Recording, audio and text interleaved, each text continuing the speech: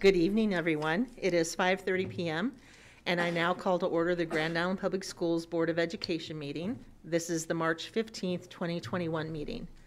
Notice of this meeting has been advertised in the Grand Island Independent, which is the district's designated method of giving notice of these meetings. We want those in attendance to know that copies of the Open Meetings Act are available at the entrance to the boardroom. If anyone in attendance is interested in addressing our board, you are welcome to do so. We simply request that you complete the appropriate form and turn it in to us now so that you may be recognized during the public forum part of this meeting. These forms are also located by the entry doors of this room. Mrs. Simmons, will you please call the roll? Mrs. Hinkle, Present. Mrs. Albers, Present. Mr. Brown, Present. Mrs. Jurgens, Present. Mr. Barsonis, Mr. Hawley, Present. Ms. Wolf, Here. Dr. Bros, Mr. Helinski. Here. All right, thank you. Agenda item three is our mission statement. Mr. Brown, will you please read that for us? Every student, every day a success. In educating students, we teach hearts as well as minds. Student commitments. Within the school district of Grand Island, every student will be taught to read, write, and communicate effectively. Solve problems, acquire and apply knowledge, and demonstrate mastery through performance to the best of the student's ability. Every student will be treated with fairness and dignity.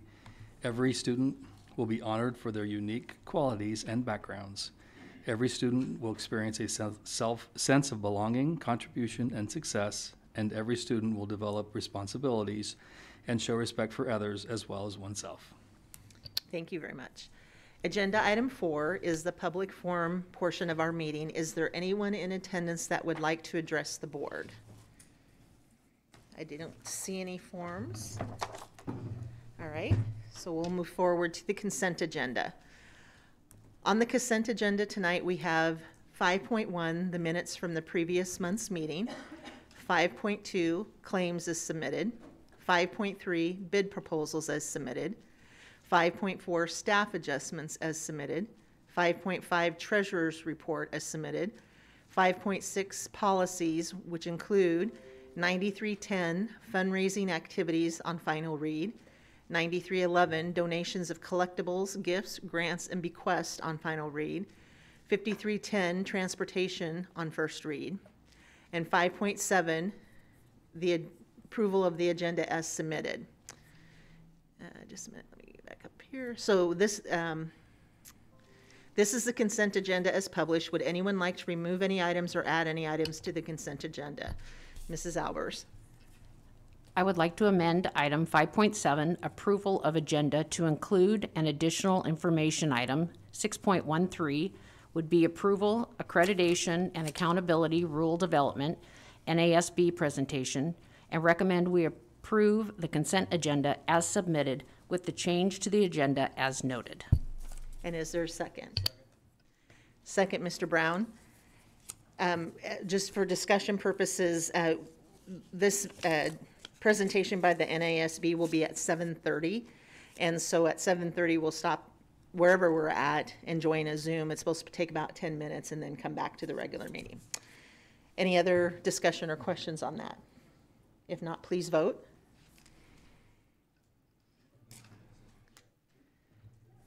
Okay, motion passes. Thank you.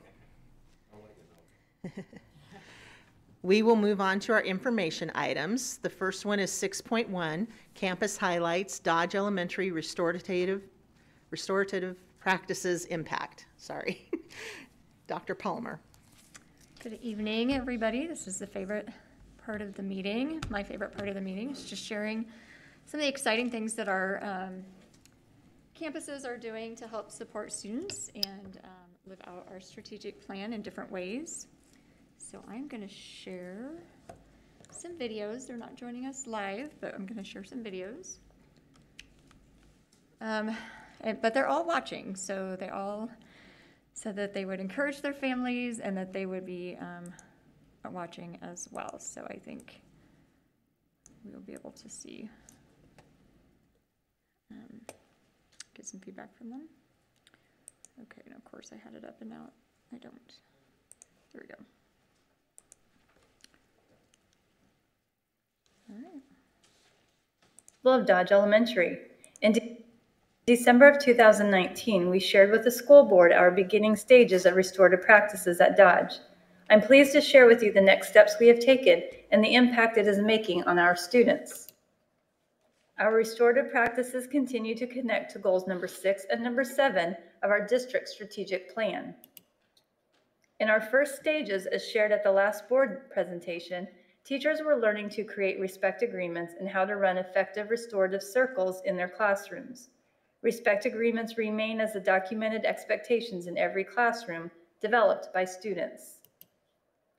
Now students are able to reflect and connect behaviors to respect agreements.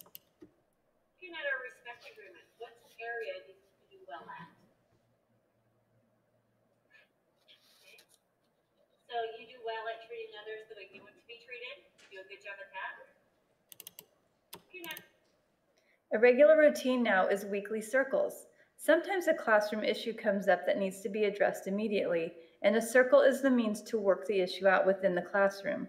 Circles are usually held with whole classes, but we have extended our use of circles with small groups of students, with teacher teams, and with parents. To move our restorative practices further, we created a team who receive extra training and have become a support to the rest of our Dodge staff. Our team consists of myself, our assistant principal, guidance counselor, social worker, Title I instructional coach, two classroom teachers, our SECL coach, and school psychologist. We developed a vision for restorative practices in our building, which is to develop and restore relationships within our Dodge community using school-wide restorative practices by empowering teachers with restorative theories and strategies. After further training this past summer, our restorative practices team created a Dodge decision tree to help guide teachers in steps to take when students display undesirable behaviors. Based on the behavior, the teacher either makes a redirection, sends a student to the classroom focus seat, or makes an office referral. As you can see, there are further steps after a focus seat or office decision, but the end result is always to restore relationships before re-entering the classroom. The alternative we use for in-school suspension is called a structured day.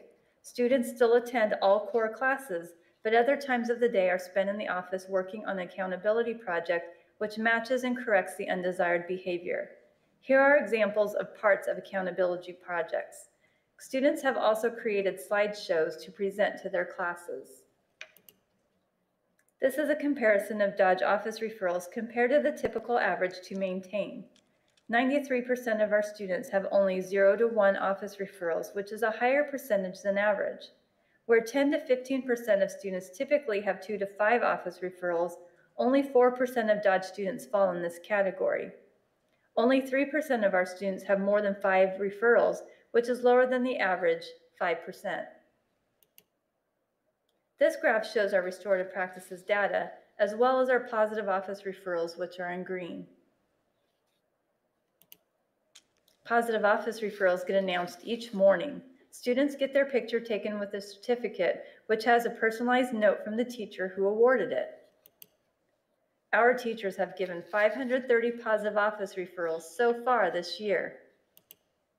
In addition to their positive office referral certificates, students earn a brag tag to add to their chain, which we started this school year.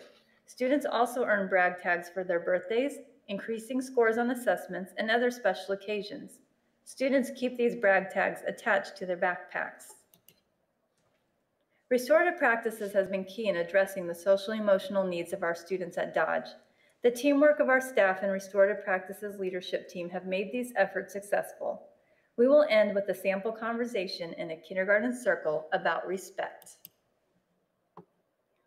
Logan, what can you do if someone is not showing you respect? Um, I can, um, tell that, can you please show me respect? Okay, so you can talk to them. What else can you do? Um, I can show them what they're doing because they're not paying attention. Oh, so you can show them how to be respectful? That's a good idea. I like that. Thank you. All right, so if you have any questions, I can sure take those back to the Dodge team or to Mrs. Eberly and to get those answered for you. Any questions?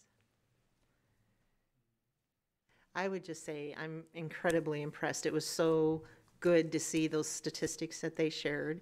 Because being in the original discussions, what, was that in the spring of 2019? When we did that?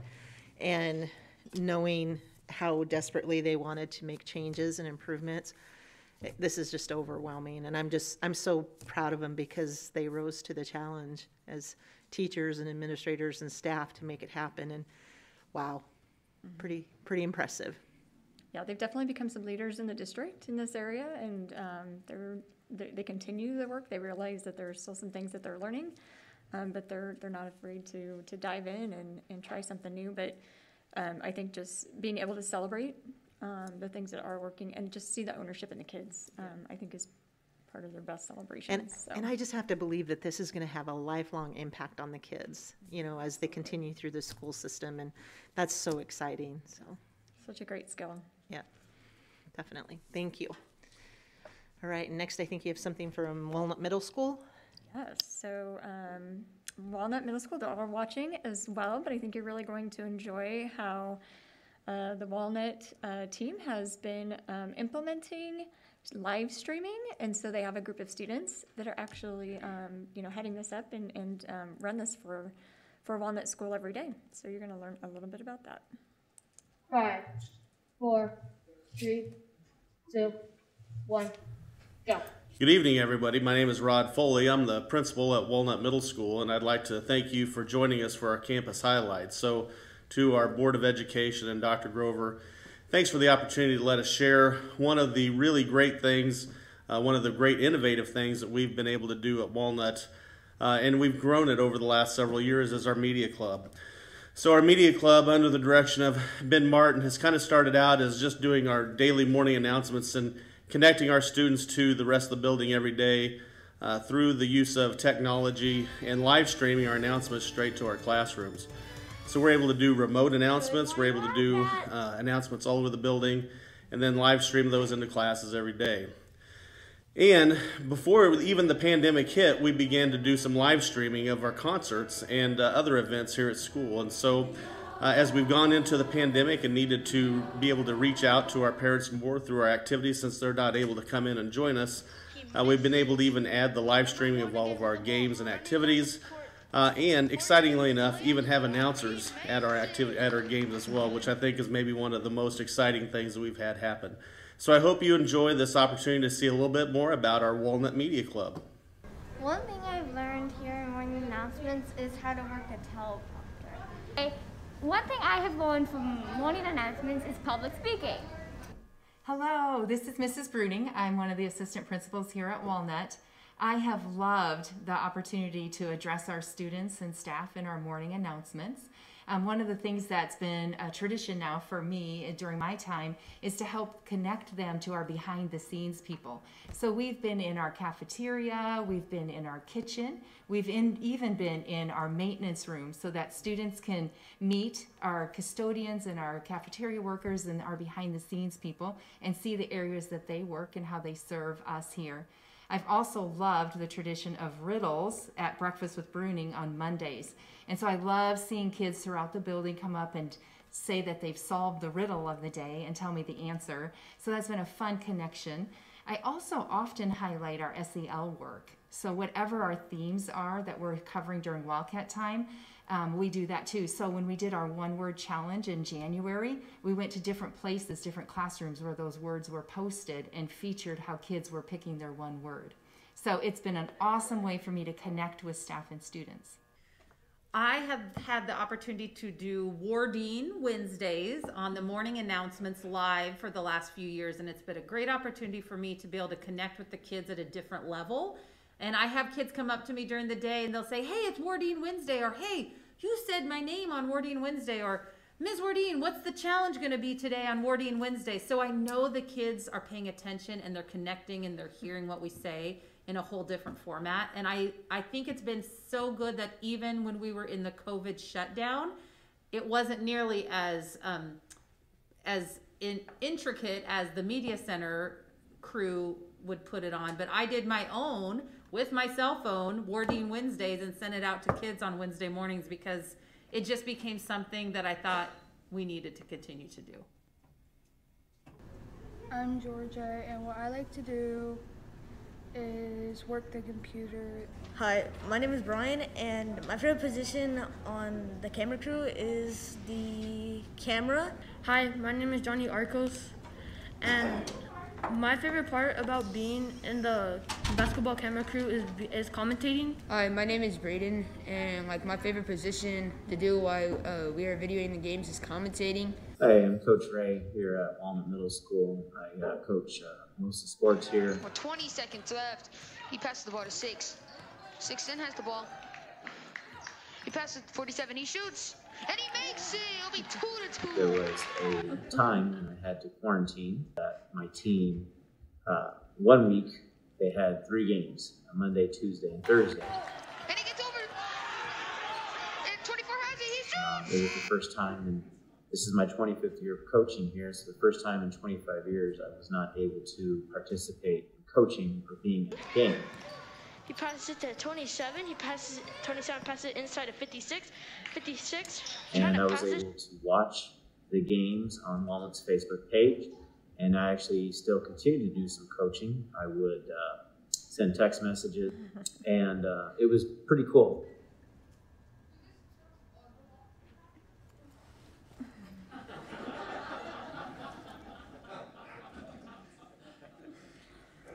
So you can see we've got some pretty talented uh, students coming up, uh, ready for that media and communications uh, academy as they get up to senior high. I think we're in good hands. Um, Any other questions? Any questions or comments? Yeah, very, very cool. So thank you for sharing that with us. You're welcome. All right, we will move to six point three, which is the winter data update. Uh, Dr. Bills and Ms. Crow. So Dr. Bills and Ms. Crow are going to um, be sharing some information um, with you about our, um, our, our assessment results uh, from our DIBELS um, data, which that was something that we transitioned to this year um, as we are looking at our K2 reading, and want to give you an update on how our students are doing um, at this point. As well as, you know, we've had our fall and our winter map assessments, and so we want to just kind of share with you where we are um, with our data, what that's, um, what information that's providing to us as a team at this time, how uh, buildings, uh, principals, and their teams are using the data, and how um, we are responding to it as well. So with that, I'm going to turn it over to um, Dr. Bills.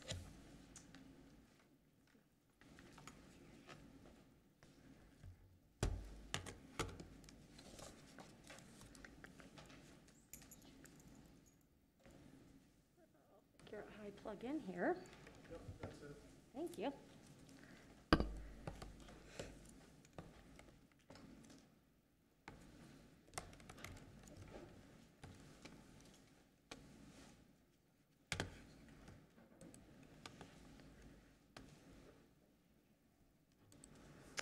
All right, good evening, Dr. Grover, President Hinkle, and other members of the board.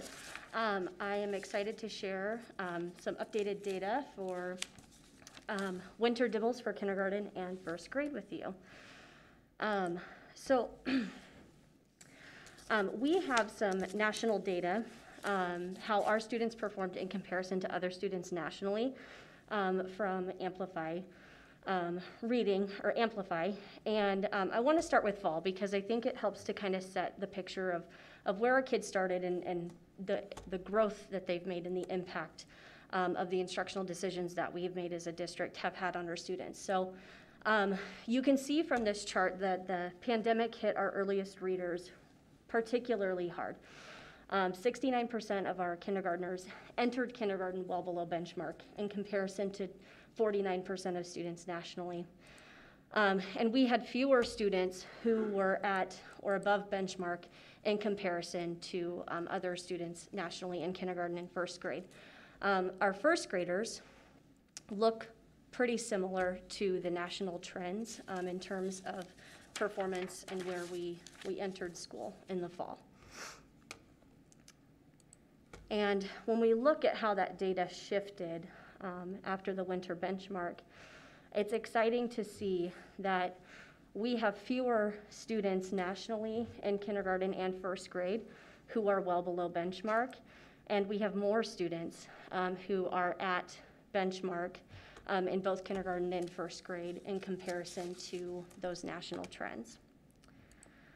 Um, what's even more exciting, though, is to look at the growth that our students have made in kindergarten and first grade in comparison to national trends as well. So when we look, this is kindergarten data. Um, when we look at students who are at benchmark and above benchmark, um, nationally, about 60% of students are making average to well above average growth. Um, and you can see here that we had 81% and 96% of our kindergartners demonstrating that same type of growth. Uh, when you move to below benchmark and well below benchmark, nationally, only about 40% of kids are making what they refer to as gap closing growth, right? So it has to be ambitious, above average and well above average. Um, our students who were well below, we had 65% of our kindergartners demonstrating that type of growth, and 79% um, of our kindergartners demonstrating that, that type of growth. Um, the middle column breaks down those categories really specifically. Um, and I think it's just a huge celebration that even within that 79% of students, 53% of them made well above average growth, um, which is just huge. So when we, yes, it's really exciting. Um, uh, so when we shift to first grade, we see um, very similar trends. Um, so again, at and above benchmark, we'd see about 60% nationally, um, and we have 87% of our students above benchmark and 91% of our students um, at benchmark who are demonstrating that same type of growth. Um, when we shift to the below and well below categories, 68% um, of our students who are below in comparison to 40% made that gap closing growth, and 45% of students in first grade who are well below made that gap closing growth.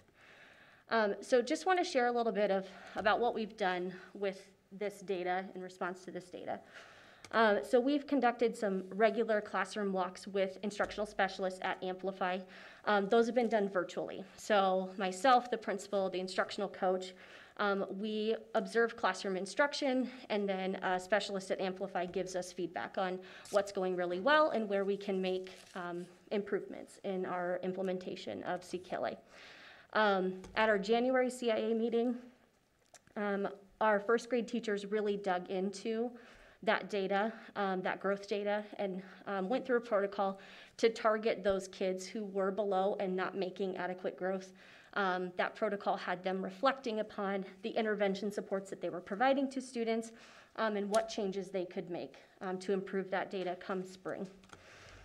Um, this growth data was too good not to share with teachers. Um, so I put together a little screencastify um, ahead of spring break and just shared the data with them, celebrated their hard work, um, and encouraged them to take some much needed time off for themselves. Um, and then we have also disaggregated all of this data by building. Um, and that data has been shared with principals and coaches um, so that they can use it to drive um, decisions as well. So that is our K1 data. Do you have any questions for me?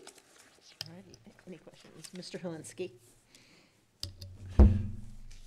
I always last ask the why and how. Uh, obviously, the scores are great scores. Don't get me wrong, but how? What, what are our educators doing different that on national we're so much higher than them? Because we have to understand how we're doing that and why and why we're doing it to keep it to keep going up. So, what are they doing differently? Do we know? Um, so I can't I can't speak to like what it is specifically that we're doing differently than other schools nationally, right? Because there's so many variables that come into play. What I can speak to is what we're doing differently this year that we haven't done in years past, and that is um, provide our students with structured foundational literacy skill instruction um, using CKLA skills. Um, and so I, I do uh, um, equate our growth and our student success to um, that resource and our teachers' strong implementation of that resource. Um, overwhelmingly, the classroom observations that we've done with Amplify, they're very impressed with the level of implementation of our teachers. Um, they've done an excellent job um, of just picking it up and, and running with it. So I would say it's that. Okay. Thank you. Yep. Any other questions or comments? All right, well, yes, it's pretty amazing, so thank you for sharing that. You're welcome. All right, so then, oh, you're, do- is this still part of 6.3? Okay, got it. Good evening. As Dr. Plummer said, I'm going to talk a little bit about our, our winter map growth data. Um, just to sort of reorient ourselves to what MAP is, it's, MAP is a computer adaptive assessment, which means it adjusts the questions students are getting based on their responses. So if they're answering correctly, they get harder questions. If they're answering incorrectly, they get easier questions until the system finds a place where they're getting about 50% correct and 50% incorrect. This is nationally normed data, and most of our students will take this assessment three times per year. Um, just a little more basic data um, uh, as far as who takes which test. Our kindergartners and first graders um, are only taking the math test now because they take DIBELS for reading. Our second through fifth take math and reading, and our fifth graders um, take the science assessment. For our middle schoolers, sixth, seventh, and eighth all take math, reading, and science. And for our high school, grades 9 through 11 take math, reading, science, and language usage. You will see in the data that we have some places where the data looks a little different, such as for juniors in the spring, they take the ACT instead of the MAP a third time. And we are piloting some content math assessments in the high school as well. And before we dive in, just a note about the norms. We did get new map growth norms as of this fall. And it's important to keep those in mind as we're looking at these, this data because those norms were generated pre-COVID. So they were from 15, 16, 16, 17, and 17, 18. So when, for example, we're looking at growth, we're comparing our students' growth this year in the middle of a pandemic to what we would expect to see in the, the data that was gathered pre-COVID. So, okay, it's a little hard to see the colors on here, but um, map growth is a lot to take in. It's all grade levels, uh, multiple content areas. What I was trying to do here was to give some context to what we're seeing with our COVID data. So we've got um, 18, 19, 19, 20, and 2021 data here. And if you can kind of see the colors, what I tried to do was make it easy to trace a grade, a, a cohort of students down through second, third, fourth grade, so you can kind of follow the patterns. I tried. so for fourth grade, for example, you'll see here we went 49th, 46th, 54th, 56th. We were kind of seeing a general um, nice upward trend. Then this is where COVID hit, and you see them down to 40, the 41st percentile, the 35th percentile.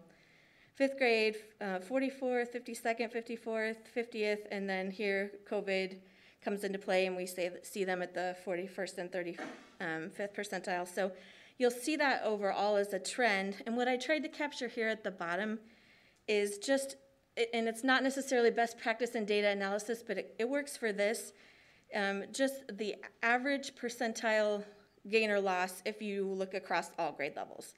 So you'll see here pre-COVID we had you know 0.36, um, 3.36 fall to winter there, so we were making nice growth. And then over here within this year, fall to winter, we, we are negative 5.2% out. Between years from the winter to fall, here we were plus three, and here in COVID, minus 12.5. So you can definitely see that disrupted learning um, reflected in our map data. Oops, I missed the slide. This is a, another report that kind of shows it a different way. This is our student growth summary report.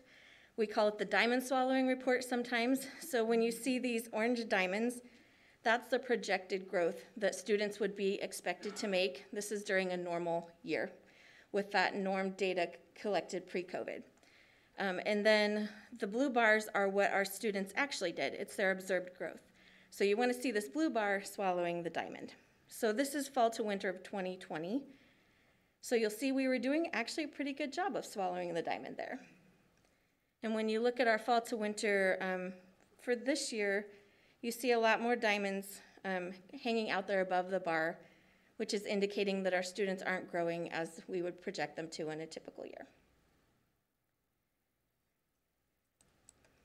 Oops, I keep clicking too far. Okay, so our math takeaways, um, generally students started the year with greater than usual loss from last winter to this fall. Most grade levels appear to be growing at a slower rate than previous years, which does align to what NWEA has um, seen nationwide. They do fairly regular updates to tell us like what are the nationwide trends, and what we see here does align with that.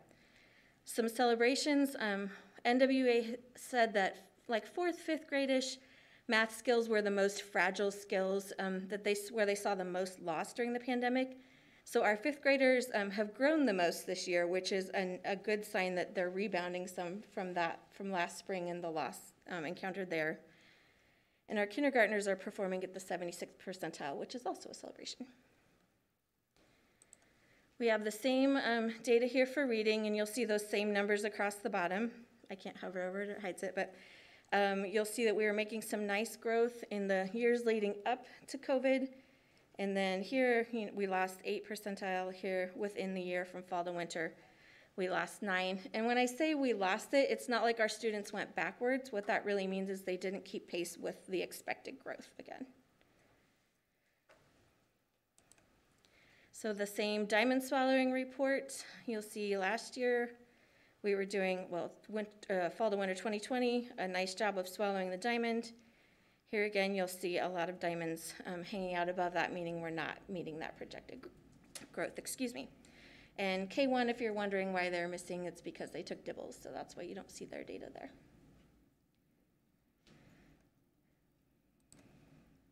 So our takeaways in reading, students experience loss between winter and fall, not as pronounced as math, but within year, those percentile losses um, indicate more difficulty sort of keeping pace than in a typical year. And finally, this is, um, map data is a piece of our On Track to Thrive data. So this is really uh, about projected proficiency onto the um, end of the year state summative assessments.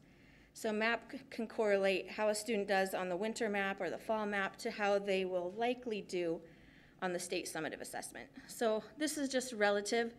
The red is last year's projected proficiency for second, third, eighth, and ninth and the blue is this year. So if you're just looking at it relatively, we're, we don't have as many students projected that would be projected to meet proficiency this year on the state summative assessment, except for in ninth grade, where you kind of see a reverse of that data. And ninth grade would actually be projected um, onto the ACT. Which does lead into sort of our summary takeaways. Um, the disruptions negatively impacted not only where we started the year, but the growth we've been able to make within the year and that students in the upper grades have generally weathered those disruptions more successfully than those in the lower grades, particularly in ELA. So maybe we will let Dr. Tom Jack's going to talk about our response to this data, and then if people have questions after that, um, we'll take them then. So we've heard a little bit about the data, and the next piece that our Leading for Learning team has really been talking about is what do we do about the data? Because obviously we're not where we want to be and we want to make sure that we're accelerating that learning for our kids as we go forward, trying to meet those gaps as much as we can and mitigate the losses from the pandemic. So we have a couple things on the slide. We're, we're doing quite a few things, but I wanted to highlight a few of them.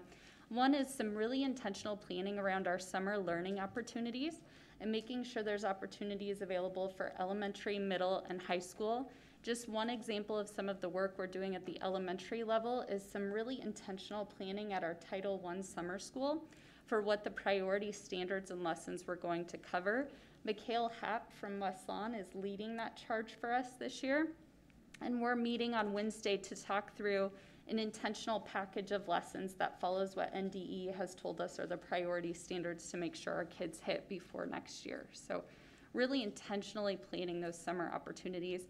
We've also had the chance through NDE to um, bring Zearn to our district. It's a math intervention system that we can use, and the state is providing that for free to us this summer and through next year. So all kids at the elementary level will have the opportunity to participate in that program, whether they're in a Title I building or a non-Title I building. And then task force work this summer will be really intentional about using the NDE priority standards documents that we've been given to make sure that we're focusing next year on those core skills that our kids need in order to be successful. Um, and also creating assessments that are going to help us gauge where they are in terms of their learning. MAP is great, but it's only given three times a year. So really looking at ways that we can measure student progress throughout the semester um, before we get to MAP.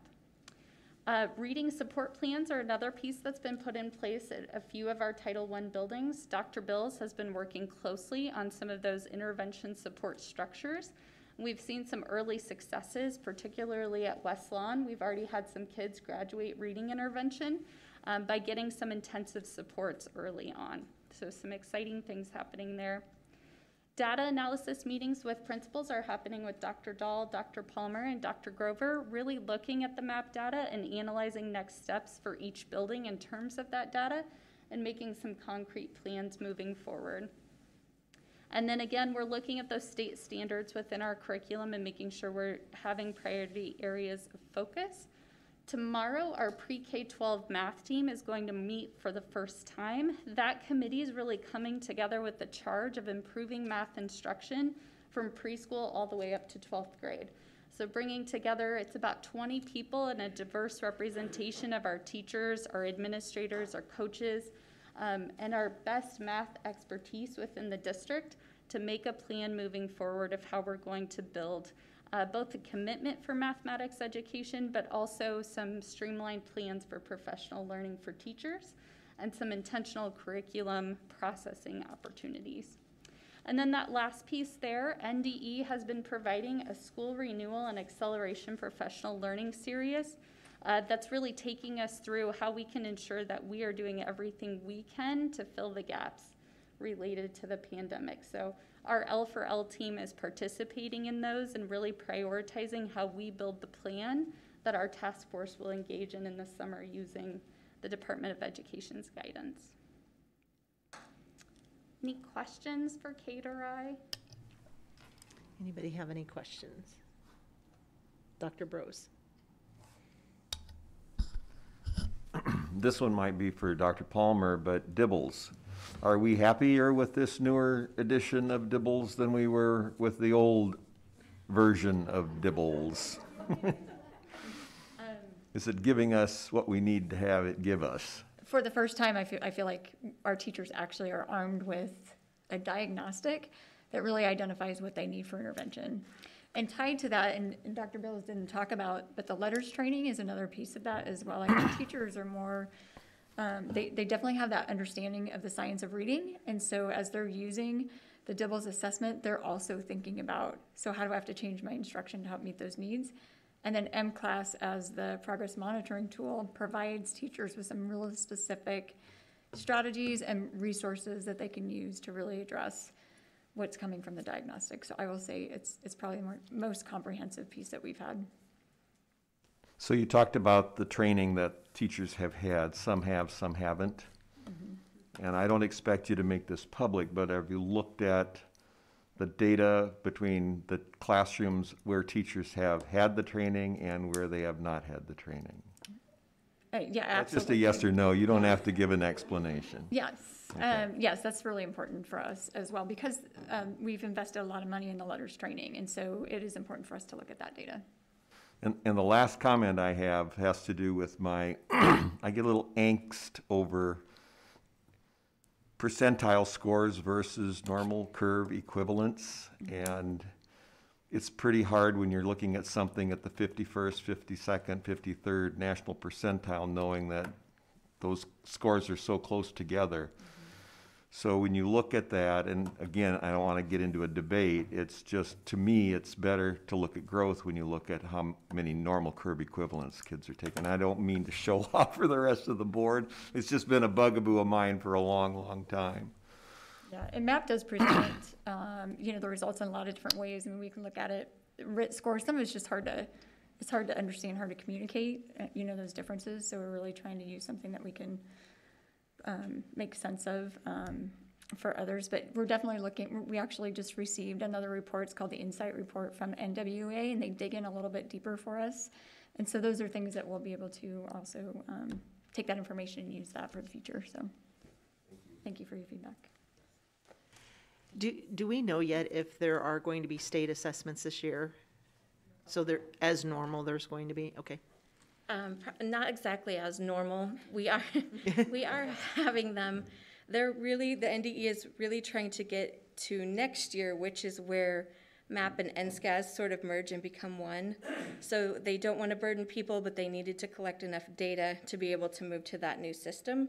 So we are giving all the, the typical assessments, but they're abbreviated versions.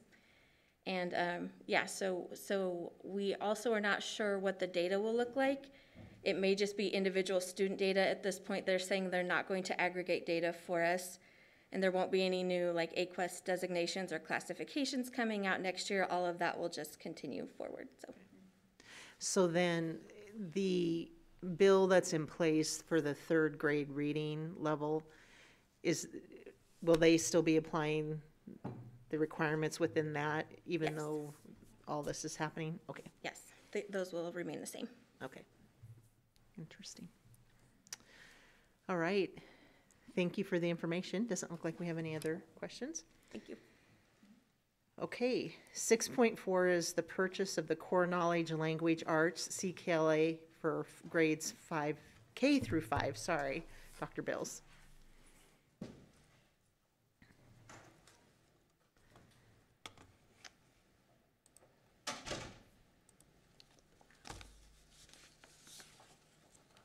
All right, I'm back again. It doesn't look like I'm projecting though, for some reason. I can, were, were you gonna bring up the needs Yep. analysis? I can do that otherwise. Well, I was, it's a presentation. There we Okay, go. There we there you go, all right. All right. Wonderful. Okay. Um, So thank you for the opportunity to um, present this information item to you um, as a proposal to adopt um, core knowledge language arts. Um, So just a little historical perspective um, on the why and the recommendation for this. Um, We are up for a social studies adoption. Um, Our, our social studies resources have expired. Um, And last year, I surveyed our elementary teachers to kind of get some perspective around what they wanted us to consider as we moved forward with an adoption, a potential adoption for social studies. And, you know, teachers reported that, you know, there's not enough time to teach social studies in our current schedule. Um, time kind of becomes a barrier for them. Um, you know, a lot of teachers, especially in the in the really younger grades, um, there is a lot of consistency in terms of you know the topics and kinds of things that are covered in social studies and in ELA. And so, you know, they were like, is there a, a way that we can integrate these two subjects together um, that would save us some time, right? Um, it would also save us a little bit of money. Um, and some teachers in the survey called out core knowledge language arts specifically as a program um, and asked if that was something that we could look at. Um, beyond this, as we think about um, just the progress that we've made in ELA, and then um, as well think about this from um, a, a standpoint of equity, um, it's another great consideration for us to make. Um, you know, we have done a lot in terms of English language arts instruction. We haven't made many great strides in terms of students meeting or exceeding proficiency in our data. Um, and some of the most current reading research that's available is actually suggesting that our, our approach to teaching reading um, in terms of, of comprehension um, needs to shift away from an emphasis on skills and strategies and more of an emphasis on building knowledge and developing academic vocabulary. Um, as we think about this from an equity standpoint, many of our teachers expressed concern that social studies is not a protected content time in our schedule. Um, and so our students who are most at risk, our English language learners, our special education students, um, are oftentimes pulled during this time in their day to receive um, support in, in areas that they, they need, right? Um, but it, it keeps them away from getting access to content um, and knowledge that is going to ensure that they're successful in college, career, and in life, right? So um, another consideration for us to make in terms of this adoption. Um, so just a little bit about our process. Um, this August, we started piloting. Oh, I lost you. Um, I don't know what happened. I'll just keep talking. Um, so Um, this August, we started piloting. Um, 11 of our 14 elementary schools were represented, um, and those included title and non-title schools. Um, the representatives or the pilot teachers um, who were involved also represented teachers from our ELA task force and our social studies task force.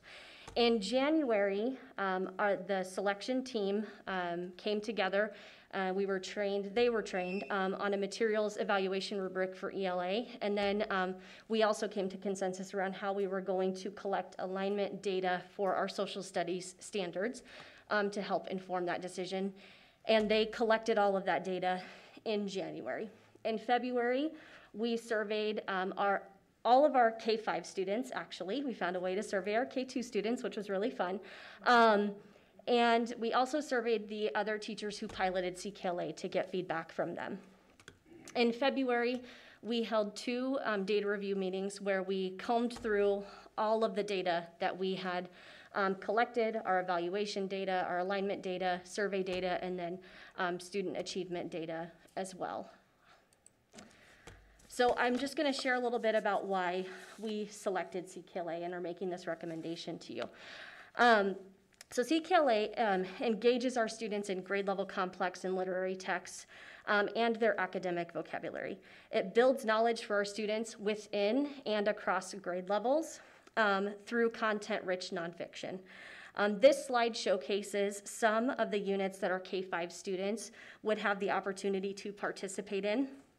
Um, teachers and parents, actually, um, have shared that their students love the text um, and the units that they're exposed to during reading. Students discuss the topics outside of reading um, all of the time, and they are generalizing their knowledge and vocabulary um, to other areas of their lives.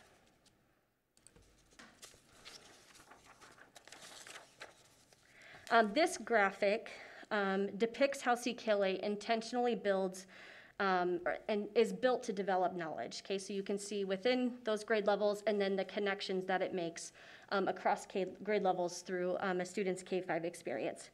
In these um, units, our students are regularly reading, discussing, and writing around grade level complex texts. The questions and tasks within CKLA um, require students to ground um, their responses using evidence from the text that they are reading or listening to, because sometimes they're just listening to them. Um, the questions and tasks within CKLA are intentionally scaffolded um, to get all students to higher levels of thinking, reading, writing, and rigor. Um, in speaking with one teacher, she shared that all of her students were learning and that she felt like she was actually supporting and meeting the needs of all of the students in her classroom.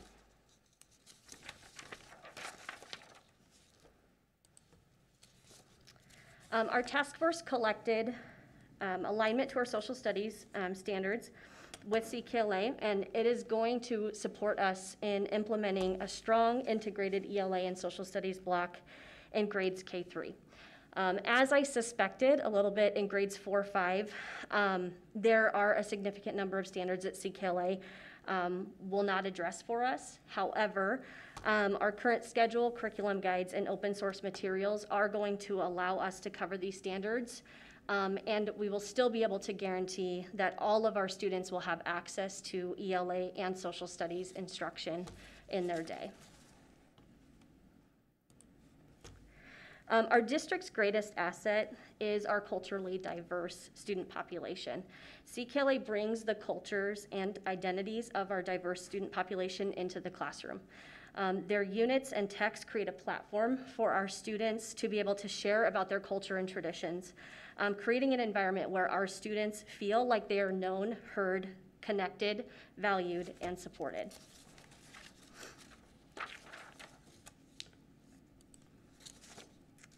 The teachers who had the opportunity to pilot CKLA have expressed what a positive experience using this resource has been, primarily for their students. While the content is heavy and the topics are exceedingly complex, our teachers have been astonished at how our students have responded. Many have shared that how much their students have loved the content um, and they just can't wait to open up the next unit and see what their next reader is going to be all about. Um, and the teachers have also expressed how they've enjoyed learning alongside their students.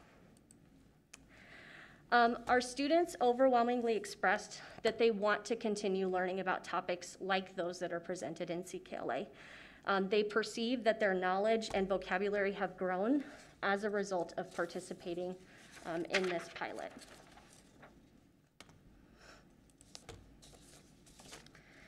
Um, these are just a handful, um, literally, of the, the many, many comments that I got from our 3-5 students um, who had the opportunity to participate in CKLA. Um, many students even thanked us for the opportunity um, to get to pilot and experience CKLA. Uh, so as I shared before, our adoption cycle for K-5 social studies has already expired, um, and ELA was set to expire next spring. Um, the adoption for CKLA would serve as a dual resource adoption um, for ELA and social studies. Um, it also includes materials for our English language learners as well. Um, I'm currently negotiating with Amplify around the adoption, um, and I have asked that the adoption include 13 professional development days, um, Amplify Reading, which is a computer-based um, intervention support. Um, I, I should say it's intervention and extension, right? So if I demonstrate that I'm performing on grade level, it'll extend learning for me.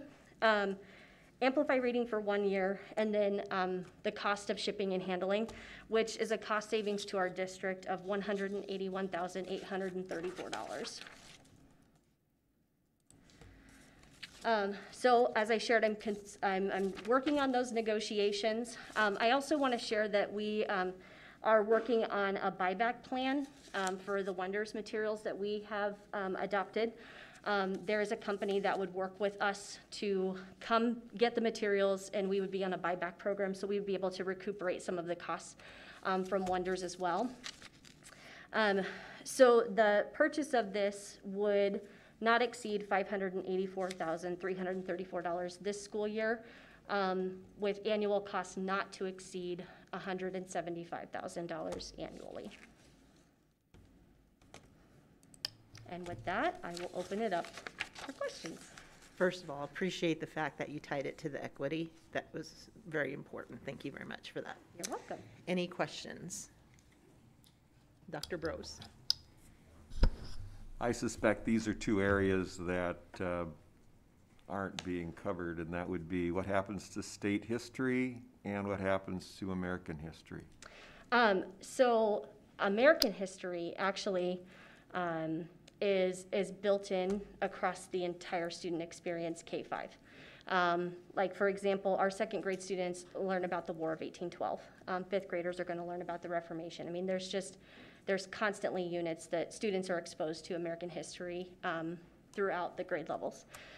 Um, as far as state history, uh, um, we would use, we have some materials that we can continue to use and um, our curriculum guides and, and open source materials as well to continue to address those state history. Um, we, without getting too far in the weeds, our, our, our schedule is going to actually allow us in fourth and fifth grade to protect ELA and social studies um, for our fourth and fifth grade students, which is something we haven't done before. Um, so I just think that's huge for them to have that opportunity. Okay. Any other questions? No? All right. Well, thank you very much. That was a very good report. Appreciate that. Absolutely. All right. So six point five is the purchase additional student consumables for My Perspectives, which is three-year upfront Dr. Bills as well. Yes, and this is the last time you have to hear from me tonight. um, okay, so this proposal, um, you should have the needs analysis, but it is um, to purchase additional student work texts um, for 6-8 for um, ELA. Um, the initial adoption for my perspectives did not, um, it only included work texts for our students for the first three years. And so there weren't enough work texts for our students to carry us through the duration of our adoption. Um, these additional work texts are going to support our teachers in meeting the shifts in ELA, um, where students need to be regularly engaged in grade level complex texts, reading, writing, discussing those grade level complex texts. Um, it's also going to support our teachers in providing evidence based strategies for scaffolding um, our students who struggle to read to grade level complex text instead of using um, strategies that um, you know, are not, are not evidence to accelerate um, the growth of our students who are reading below grade level. Um, it's going to support our students um, by engaging them regularly in text. Um, there is actually some recent research that would suggest that students actually demonstrate higher levels of comprehension when they are able to um, work with a physical piece of text um, versus a, a, digital text, and that um, is especially true for when students are working with content-rich nonfiction. Um, so this edition would carry us um, through um, our adoption cycle for 6-8 ELA, which is set to expire in June of 2024, and the cost of these materials would not exceed $140,000. Do you guys have any questions about that? All right, anybody have any questions? And I also want to uh, appreciate how you fill out the needs analysis as well. It's very helpful. Thank you. All right, it doesn't look like there's any questions, so All right. appreciate it. Thank you. Have a wonderful evening. Yep, you too. All right, 6.6 is the annexation agreement. Mr. Harden.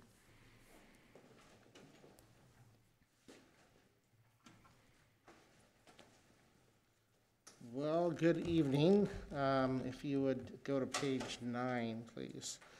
Uh, These are two different uh, annexations that the city has recently done. On page nine, you'll see uh, an outline of the area that is covering the first agreement. Sorry. There you go. And so you can see it's highlighted there. I believe it's called the Brooklyn subdivision, so it's the diagonal lines, uh, I guess, just east of the trailer court off of Capitol Avenue is the best way to describe it. So the areas that are light in color are already in the city limits. And so this area will be brought into the city limits. Currently, it's part of the Northwest Schools. And with this annexation and this agreement, the valuation in the land will be now forever in the city of Grand Island and therefore Grand Island Public Schools. So this is the first. If you go then to the final page of the document, I believe page 19, you'll see the same kind of outline, and it is the diagonal uh, property there uh, uh, south of Husker Highway and just east of the subdevelopment that's already there. Uh, so the subdevelopment is not part of this annexation, it's just that land that's highlighted in the diagonals there. And so it's farmland and the same exact story annexed by the city of Grand Island. And with this agreement, it will now be part of Grand Island Public Schools forevermore. Uh, so uh, the, normally we do this over eight-year payments, but these dollar amounts and these tracts of land are low enough that um, upon approval by the board a month from today, or month next month's meeting, we'll send those documents to be approved by Northwest. Once they sign off on them, we'll pay that payment in full to them and take care of that this fiscal year. So then that's just taken care of because they're de minimis payments basically. So with that, um, I'd be happy to answer any questions. Again, it would be forwarded to action uh, next month. Anybody have any questions? No? All right, thank you very much.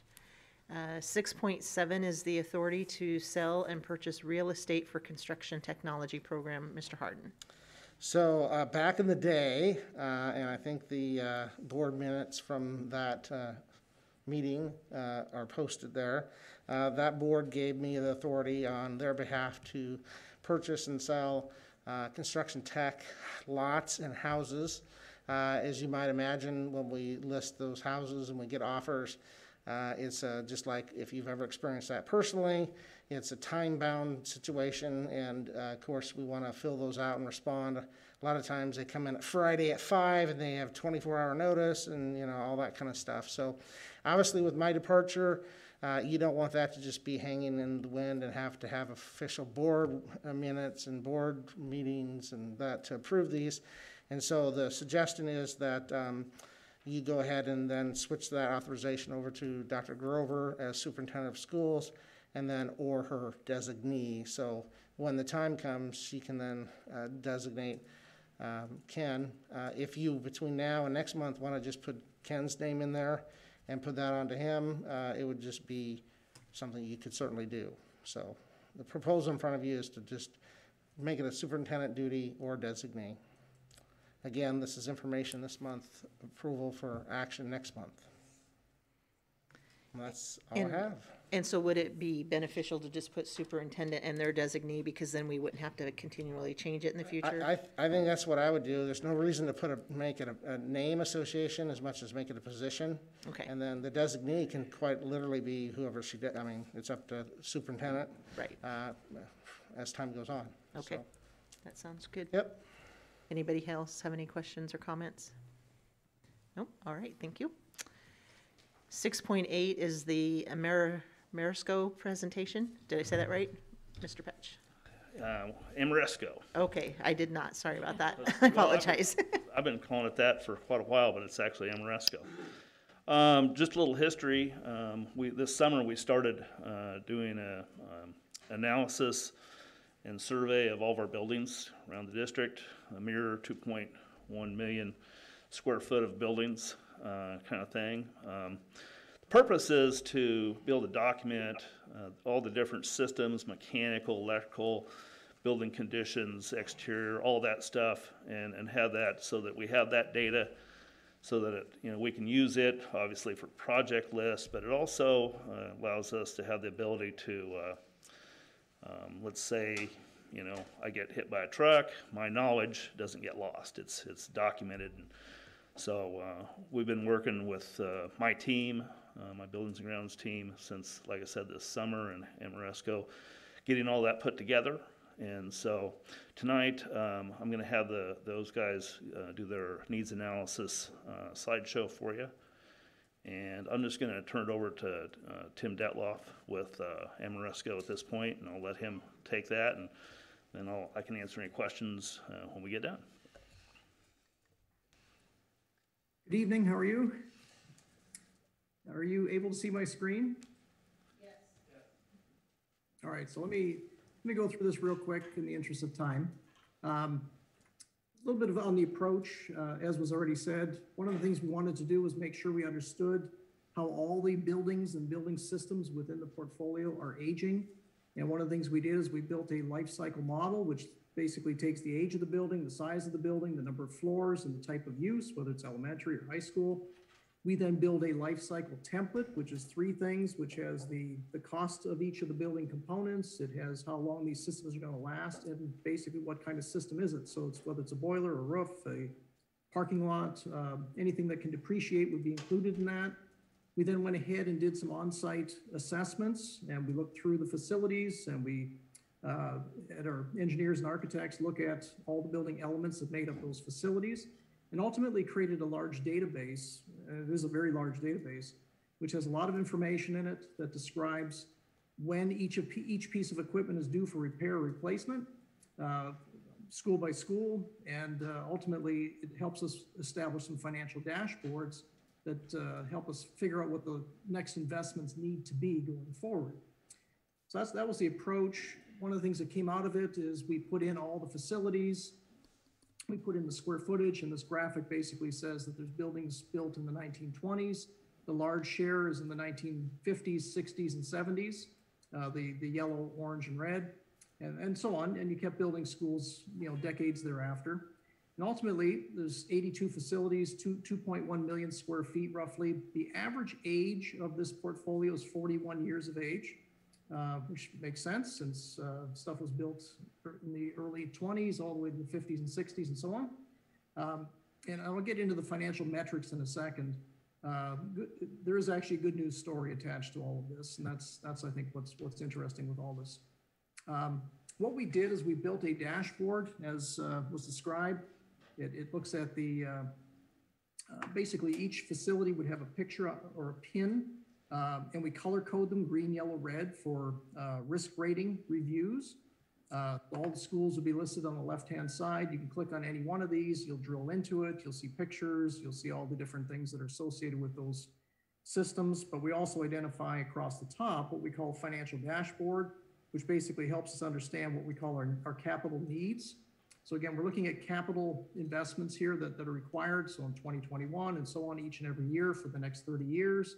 We then accumulate that over time. What does that look like over the next 30 years? And then we put a risk rating curve against that, and I'll describe that in just a second. So from a needs analysis perspective, uh, this is a this is a roll up of all schools uh, combined. Each school would have its own picture, and they're all different. Uh, no two are the same, of course, unless they're built exactly at the same time by the same contractor and so on. But uh, that never happens. So you have this age profile or, or this this backlog, as we refer to it. We call it a deferred backlog. Refer to it as a capital renewal backlog. Uh, represents about $38.1 million. So at first glance, that, that looks like a lot of money, and it is. Uh, So that's how much is required today to, to reinvest back into the facility to make them whole. Now, that $38.1 million didn't happen overnight. So that happened over the course of the last 20 years of things just being deferred, deferred. And the colors basically suggest that, you know, there's a bunch of electrical things in blue. There's a series of building envelope, shell, you know, roofing system, windows and doors in green, and uh, uh, site work, so parking lots, curbing, hardscape, landscaping stuff in yellow, and mechanical in orange, and, and so on and so forth. So each system, all these different building systems age over time, and what we wanted to do was plot out when each of these systems are going to come due over the next 30 years. But we also wanted to use practical life cycles. We did not want to use theoretical numbers. We wanted practical life as an example. Uh, practical life would suggest that a boiler, as an example, might last 33 years. But according to industry standards, which are what they call ASHRAE mechanical standards, that system should be replaced in 22 years. Well, those standards are not correct. So what we did is we actually used proper standards. We used theoretical life standards, or practical life standards, I should say. And uh, that helped us really understand when a piece of equipment is due. Otherwise, the sky would look like it's falling and you'd have this massive spike in the first year, and that's not reality. Um, so we took the same information, we took that same, uh, sorry, the, same $38.1 million in the first year, and we showed that on the graphic here, and accumulate, we accumulated that and kept it all in 2021 dollars over the course of the next um, 30 years. And by the time you hit uh, 2050, there's about a $277 million worth of needs that kick in. And that's, again, not surprising. It's something you see all the time. And the one thing I'll say is that that number on the right-hand side up here on this graph, and I'm an engineer, so one should never say 100%, but I'm going to tell you that's 100% correct. I may be wrong when a piece of equipment fails or when a boiler or chiller or window needs to be replaced, but cumulatively speaking, over the 30 years, it will need to be replaced. So we have great confidence in that number, 277 uh, million over the next 30 years. So I just want to put that out there. Um, the other thing we look at is, well, what, what, when am I, what's the risk for me? Can I defer some of this stuff going forward? And the answer is yes, you can. What we did is we then plotted out what we call a asset sustainability curve. And, and I'll describe that in a second, but basically it's saying that if 90% of your facility is running the way it's supposed to, uh, likely you will not compromise the quality of teaching and learning in that space. So the question we're trying to answer is, will facilities hinder the ability to teach and learn? And if your, this dotted red line was down below here, uh, I, I would be concerned below your backlog. But what it's saying is you're within range from a risk tolerance perspective. But everything above that dotted red line, you will need to fund in order to ensure that quality of teaching and learning is not challenged or compromised. So one other metric we use, I'm throwing this quickly at you, one other metric that's used, and this is the last one I'll, I'll, I'll refer to, is called a Facility Condition Index, an FCI. And all it is is a simple ratio that says, well, how much money do I need to put in to fix my facility divided by its replacement cost? So if I had a house valued at $300,000 and I bought it brand new, I'd have zero over 300. I'd be sitting in the good range here at 0%.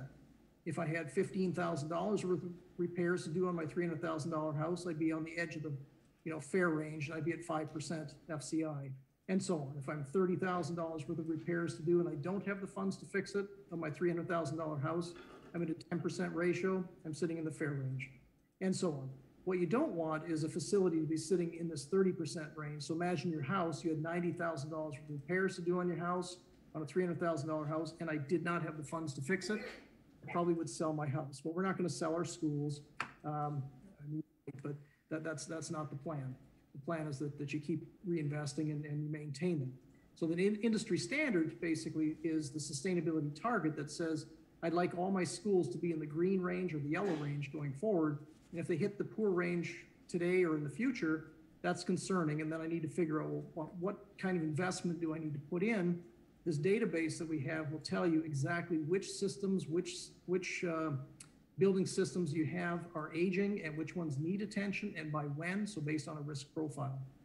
So it's a massive database with a lot of information in it. Now, if I plot all this out, just to orient you around the graph, the green is, is again the good range, the yellow band is fair range, orange is, is poor, red is critical. And today I'm actually sitting at an FCI of 6.7%. So for your portfolio, and I can tell you I've done hundreds and hundreds of these, uh, and I've spoken to hundreds and hundreds of boards like this. Uh, this is a very good picture. You should be very proud of, of where you're at. So the investments that you put into your facilities as a whole uh, is, is tremendous. It's really worked well. You're sitting at 6.7%. That's exactly where I want to be. But by the time you hit 2023, you're starting to just get to the crest of that uh, poor range.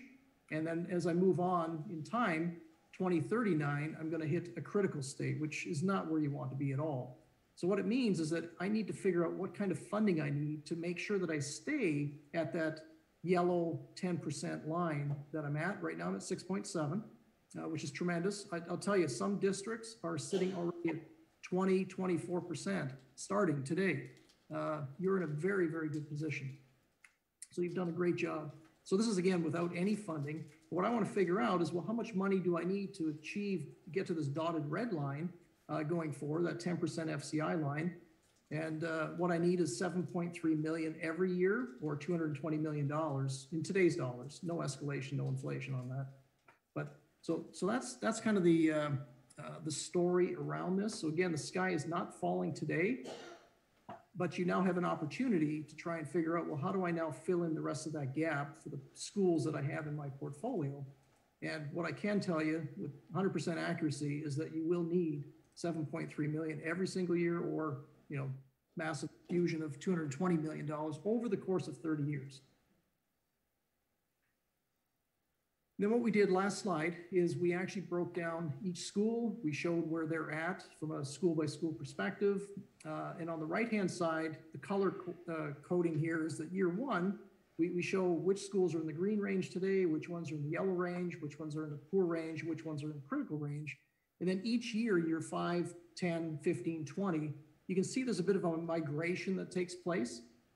And uh, again, you're, you're in very good shape overall today uh, 6.6, 6.7% FCI. But within five years, you're moving to 13. So again, the sky isn't falling, but it, it does require an investment uh, to make sure that the quality of teaching and learning is not challenged and compromised or hindered by facilities. Uh, I will stop there. I, went very quickly. I was told I had very short time. Yeah. Hopefully I went through it quick enough to uh, confuse you. That was a great job there, Tim. Um, you know, so, questions? uh, questions f- from the group? Mr. Helinski. It looks like, according to your graph there, Tim, it's going to double within the next five years. Is that correct as far as the FCI? Uh, so, sorry, say that again. I'm sorry. Is it going to, is it, uh, according to that graph there, it's going to be, your FCI is going to double within the next five years for the buildings, correct? Altogether? That's correct. Yep, yep. Assuming that, uh, it depends on the amount of funding you put in. So the more funding you put in each year, obviously that'll impact the FCI greatly. So what we needed to figure out, even in this previous graph, was, you know, for the next couple years, I'm, I'm okay. And this is a great graph to see it all on. Um, and by the time you hit 2023, you are going to have to consider some, some investments, but I, I would obviously consider the investments now to try and avert the problem for the future. Okay, thank you. Other questions or comments? Okay, doesn't look like it. Great, well, thank you. thanks again, Tim, for your time tonight. Um, This, Pleasure. this is, really helps us, uh, you know, make plans as we move forward for, with the annual project list. Um, I think. And I'm assuming, will this be part of the master facility planning meetings that we'll be having? Yes. Okay. Absolutely. This is a, this is a tool for us, uh, to actually bring, uh, data. Um, that's, you know, we went to a lot of work to, to gather, uh, so that, uh, it kind of gives you the big picture. Um, unfortunately, uh, Virgil's not gonna loan us his magic money tree to fund it right now, but, um, th- th- we'll just continue the work uh, as, as we have, uh, annually, and, uh, uh, thanks for your time. Okay. Thank you very much for being here tonight. Thank you. Have a good night. Yes. Okay, six point nine is the endpoint management solution, Mr. Gerhart.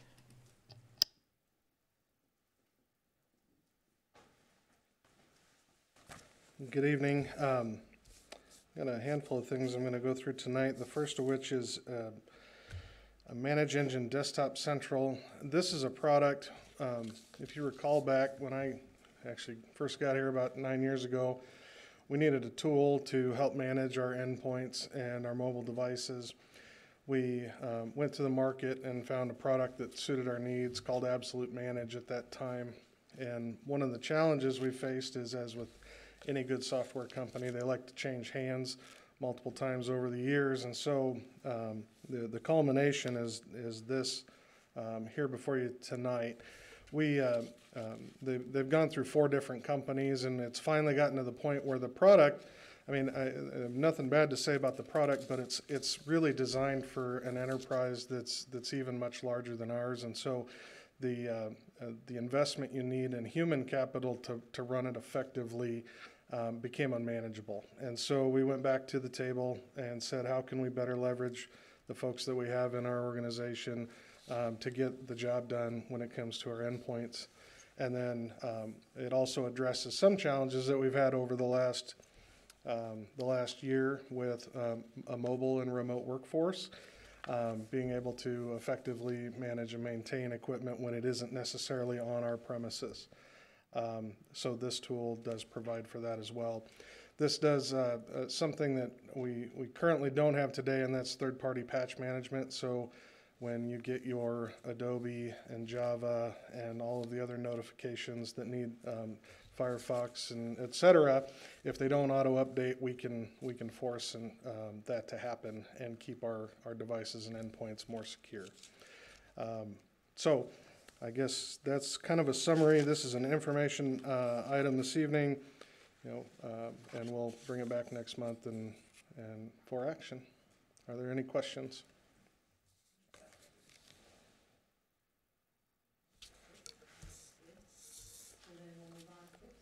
Move on to six point ten, which is the GIPS copier and print services RFP. Okay, um, a parting gift from Mr. Harden to me um, was the opportunity to uh, do an RFP for GIPS for copy and print, uh, managed copy and print services.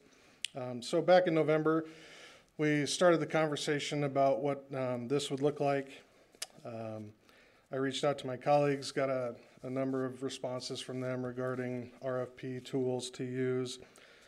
We worked through um, that process with um, internally, as well as, you know, I met with principals regarding their current status of the copiers and, and printers that they're using um, throughout the month of December and into the first part of January. And then we went out for proposals on January 17th.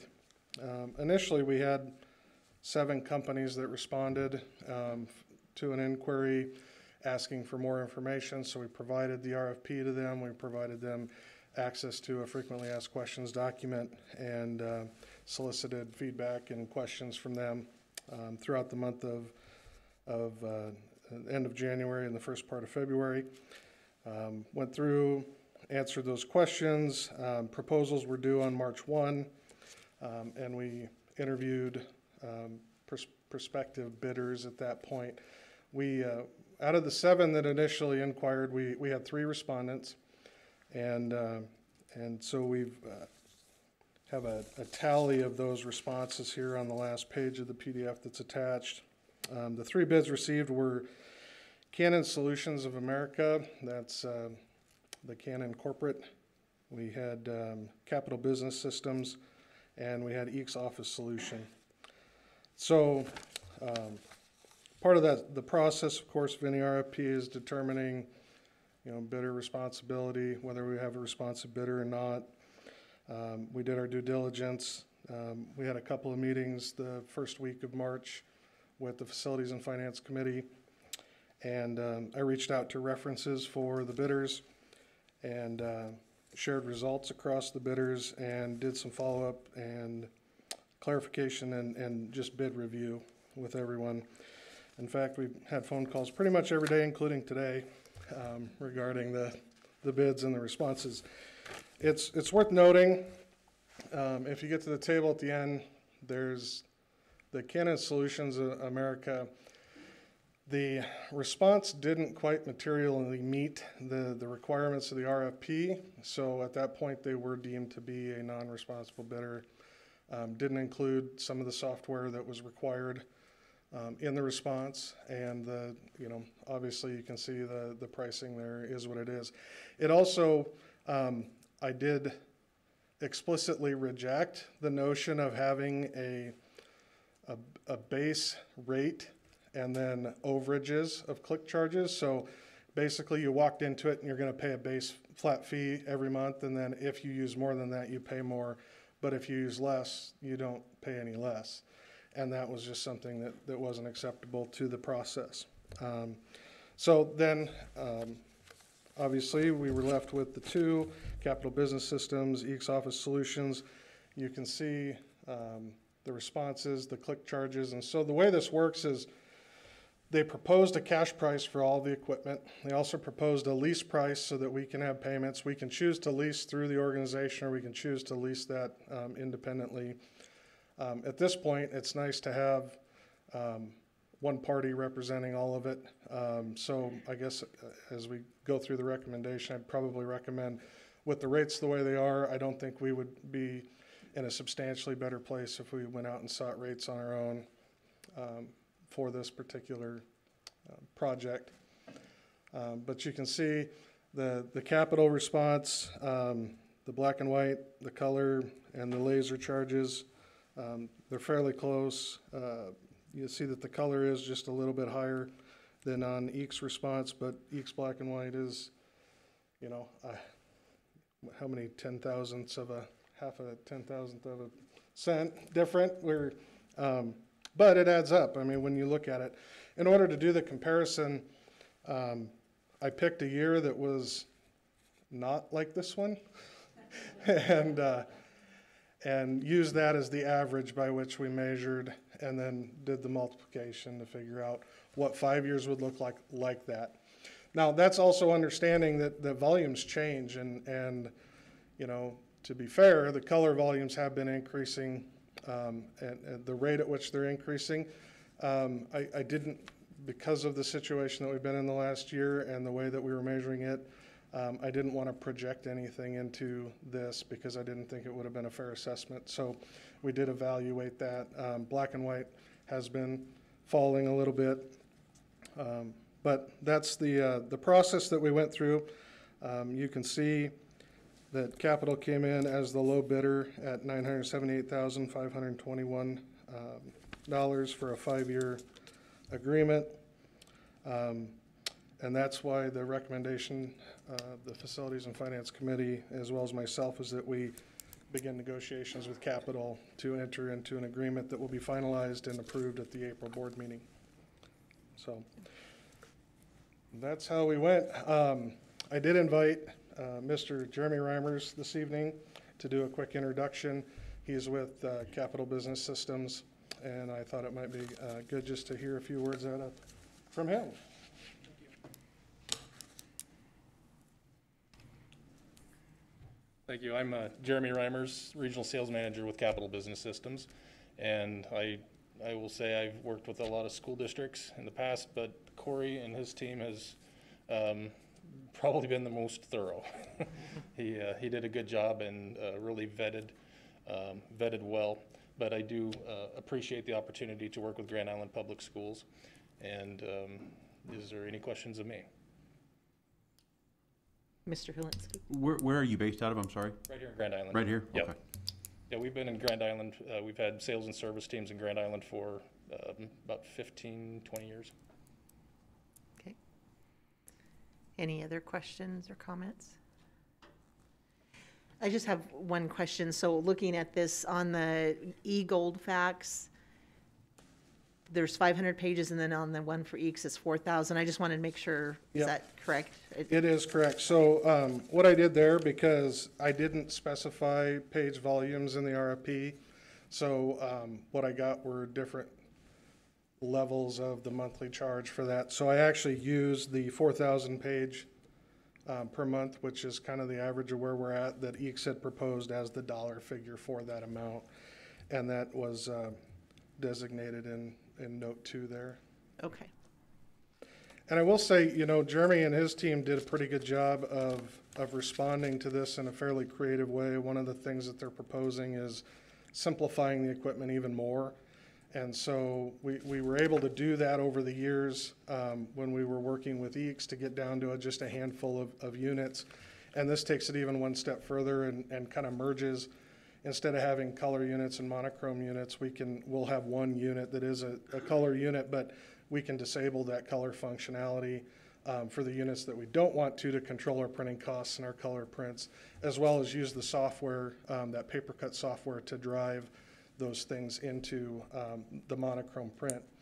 Uh, But what that flexibility gives us is the ability to take those units, if we have something that's being overutilized in a location, we can swap those out um, in year one, year two, year three, as we do these periodic reviews. So we'll be meeting, um, well, we'll have to figure that out based on the agreement, but uh, biannually probably, or I guess I should say twice a year, to, uh, to discuss what the usage is on the equipment and how we can move that around to reduce downtime and, and uh, increase productivity.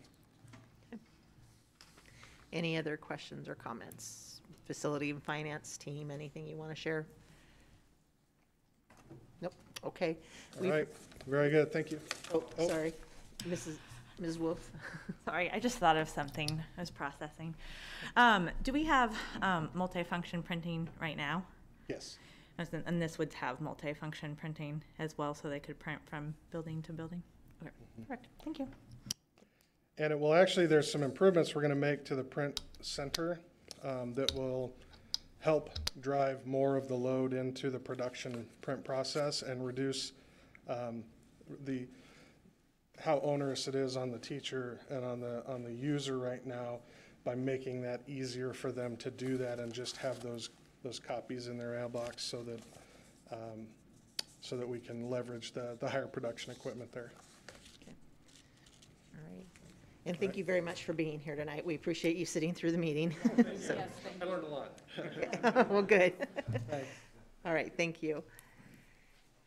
We will move to agenda item six point eleven, which is the student handbook for 2021-2022. Dr. Dexter.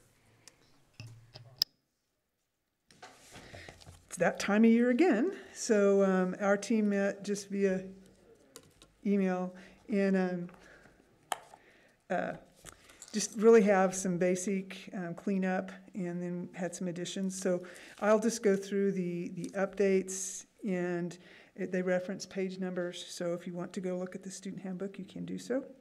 Um, just the, you know, we had to add the board policy on Title IX and um, just some little cleanup language on that. And then um, we added the equity statement. So that will be added to the student handbook. Uh, and then we still had some language on CNSSP, so deleted that. Then grading, um, just cleaned up the language um, there based on academic achievement, not behavior, is really key. Um, conduct resulting in suspension, expulsion, or reassignment, we just needed to um, make sure that policy was linked. Um, fix the heading on district wellness policy.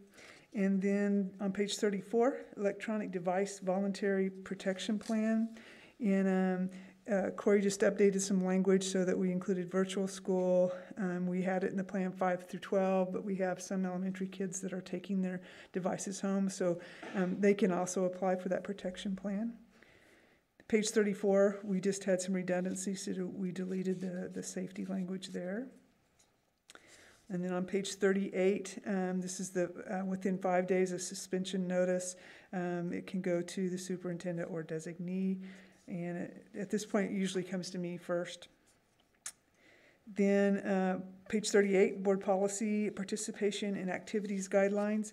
And um, we worked for a, a full year on just making these more understandable, a little bit flexible, but still spelling out the consequences. We also involved area school um, activity directors and principals. And um, if you see the first violation, second violation, um, and third violations were the, the major changes in that policy. And then the student self-report, that was redundancy, so we deleted that language. And then on page 43, supply lists, and um, our principals have been great about really narrowing that down um, so that parents aren't expected to um, purchase a lot of stuff right before school starts. So um, they've been really good about budgeting and making sure they have supplies that all kids can use. And then we also changed um, uh, on the, we have to get specific on what we expect students to purchase to be able to participate. And um, so just cleaned up the language on band and orchestra. So those were the changes to the handbook. And uh, any questions? Any questions? Thank you for doing that work. We appreciate it. All right, six point twelve is the GIPS Foundation Added Up to Opportunity Staff and Board Campaign. Mrs. Skalberg. Okay, well, thank you very much for allowing me to address you this evening. Um, I came here tonight to give you a, a, little bit of an update of the work of the Grand Island Public Schools Foundation, and then uh, also introduce the 2021 Added Up to Opportunity Staff and Board campaigns. Um, the foundation recently worked with Match Nonprofit Consulting to develop a strategic framework laying out our plans for the next three years. And the process involved a lot of stakeholders with over 600 answering surveys regarding our work. Uh, many other district and foundation stakeholders worked in teams uh, to further define and inform this process. So I shared an executive summary um, and recommendations from Match Nonprofit Consulting Team with this board last month in the board reports. So I hope you had an opportunity to read through that. Um, one of the things that the team pointed out was our need to codify our relationship with the school district and the Board of Education. So we indeed provide valuable services to one another. Um, it's a mutually beneficial success equation. Um, and the consulting team really drove home that point that we should have a formal memorandum of understanding. So um, I put a couple flyers at each of your spots um, that give some quick stats about the work of the Grand Public Schools Foundation last year. And I want to draw your attention to the financial stats page that looks like this.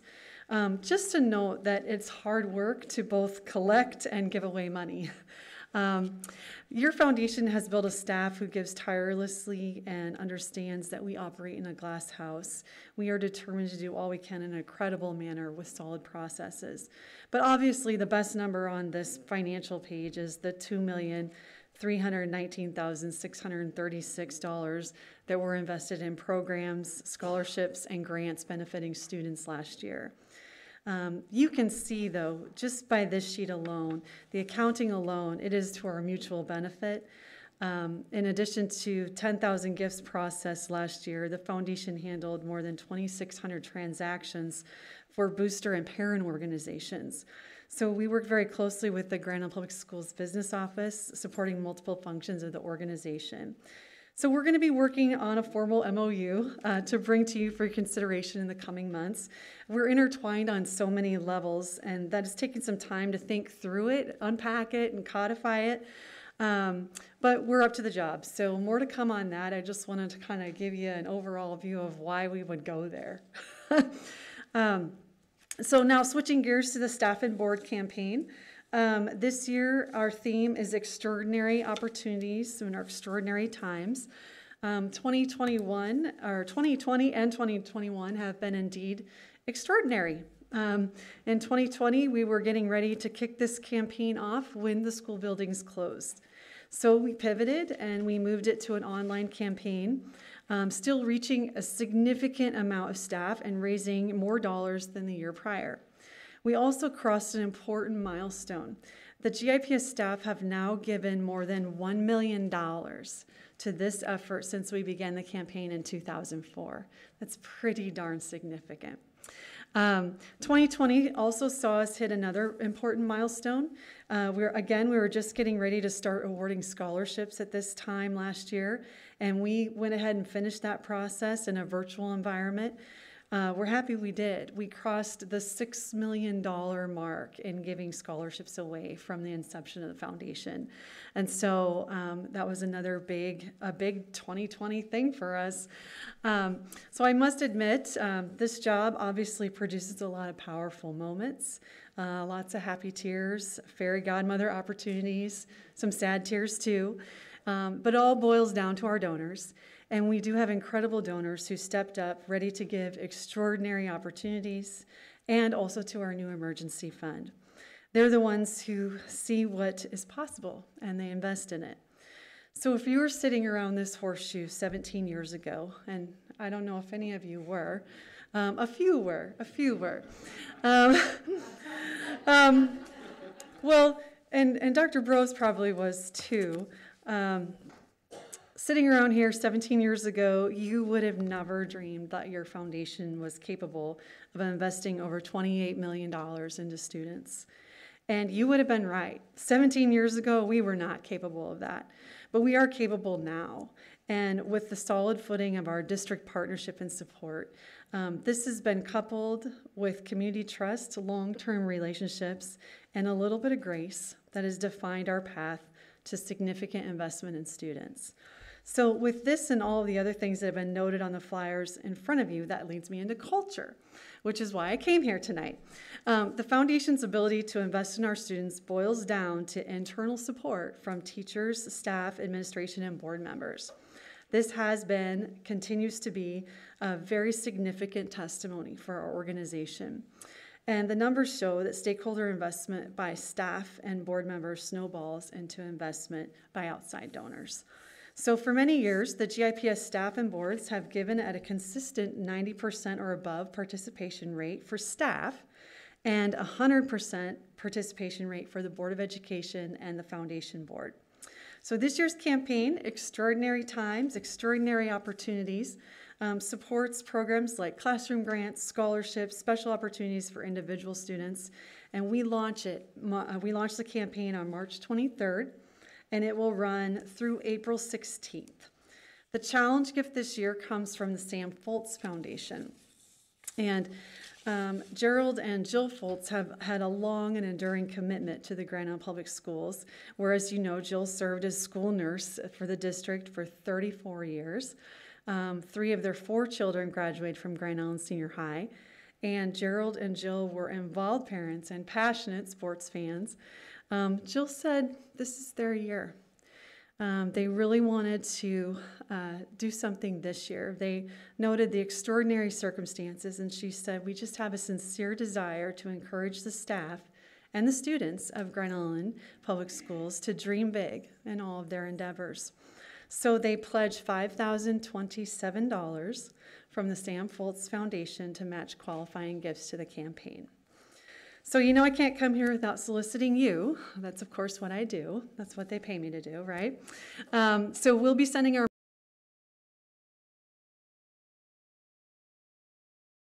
materials out to you in the mail. Um, the foundation will again be participating in the Grand Island Giving Day Go Big Give.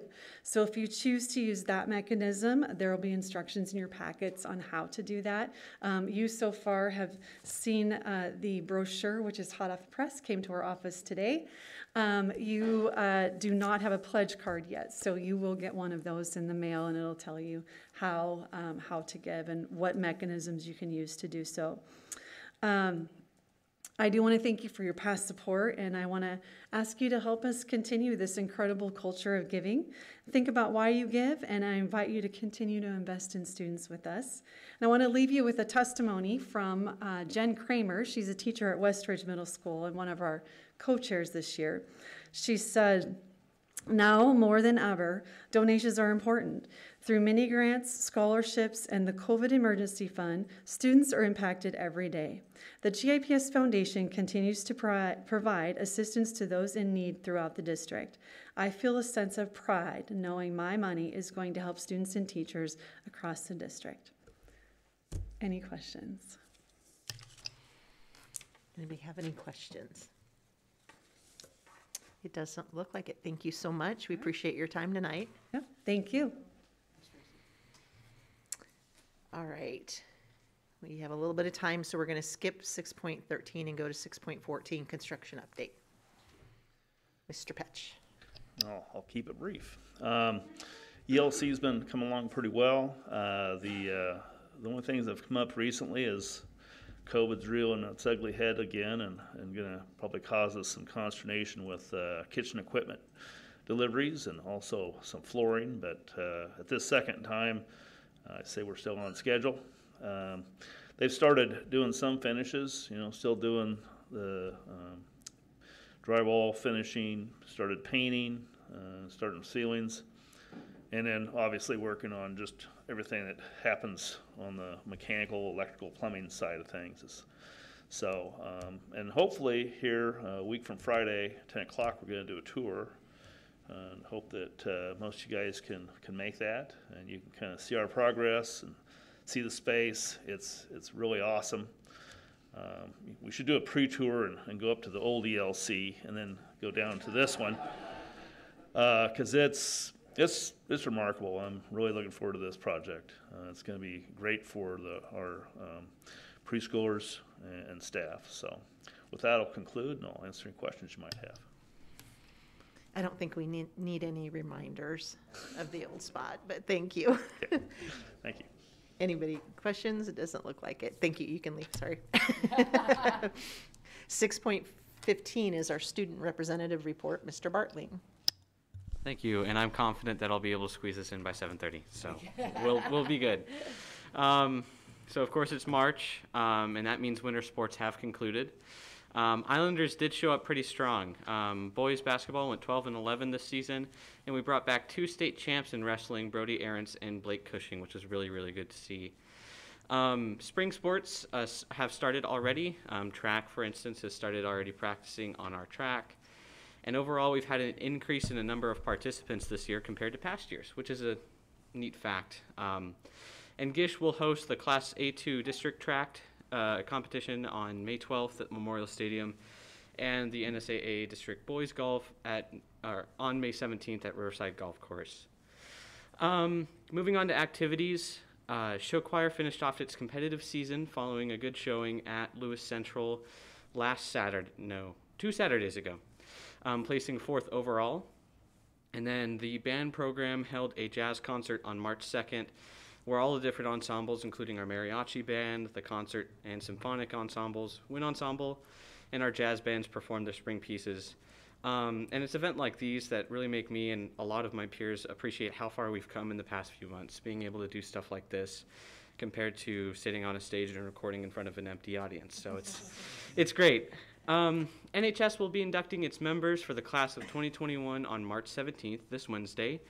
364 days after originally anticipated, but I mean, we're still glad to do it. Just a little bit of a pushback. And then all of the choral ensembles will be performing um, later this month uh, in just a sort of standard concert. The date did get postponed after I wrote this report. So, um, and then I have a little bit of a neat story. So, three years ago, I organized a voter registration drive with the assistance of the election commissioner and Mr. Gilbertson at the high school.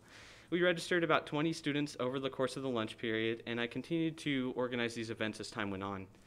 The timeline for organizing an event prior to the 2020 election was too tight to organize, so Mr. Gilbertson and I started, started working on a way to hold a drive after the election was over. As it happens, a new pool of eligible voters opened up at the start of the semester. Those who will be 18 by November 2nd are now eligible to register to vote. Despite all of this, we had one big question. How will it work? Um, we cannot realistically, with our current protocols, have registrars enter the building for the purpose of registering voters only. So um, we're still continuing our protocols and policies on visitors, so that was not going to happen. So we did what Islanders do. We stepped up to the plate. Two of my fellow classmates, one of my teachers, and I received the necessary training to become certified deputy registrars in the state of Nebraska, and we held the drive on March 1st completely by ourselves. I'm proud to say that we shattered a county record and registered 34 students over the course of an hour and 15 minutes. This was published in the Independent and on NTV News, and as a result, several other community schools have started talking about this. And as it happens, I will be registering students over at Grand Island Central Catholic tomorrow, pursuant to all safety guidelines put out by the CDC. So it's really, really great to hear. And then lastly, it's sort of a reflective thing because today is actually one year. One year ago today, I was sitting down in my basement and I get a call for Kendall to come upstairs because school was no longer happening tomorrow. Um, it's, uh, it's hard to say that that's a year. Uh, 365 days ago, the school district made a call to prioritize student, staff, and safety, community safety. Um, that spelled a major impact to the lives, realities, and mental health of everybody with any sort of ties to this district or the schools it oversees.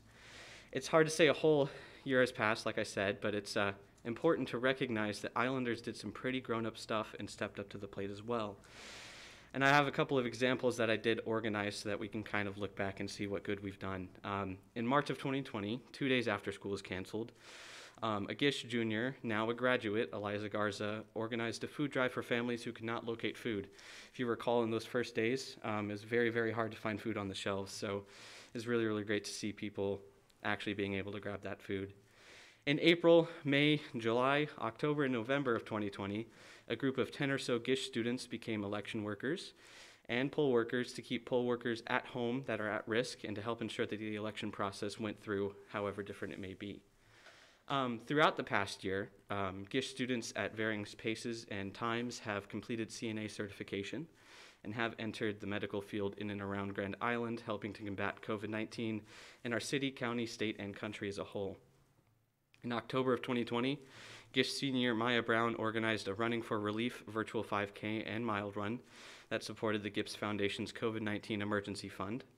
In November of 2020, NHS, the National Honor Society at Gish, organized a blood thrive, drive through the Red Cross at essentially a time when the Red Cross was facing a drought. They didn't have enough blood and donors to um, continue their services. In December of 2020, NHS actually organized and decorated masks to community members who were in need of face coverings. And in February of 2021, um, 92 cans of food were donated by both FBLA and FCCLA after a can drive at the school to uh, Hope Harbor and other community organizations that work with that.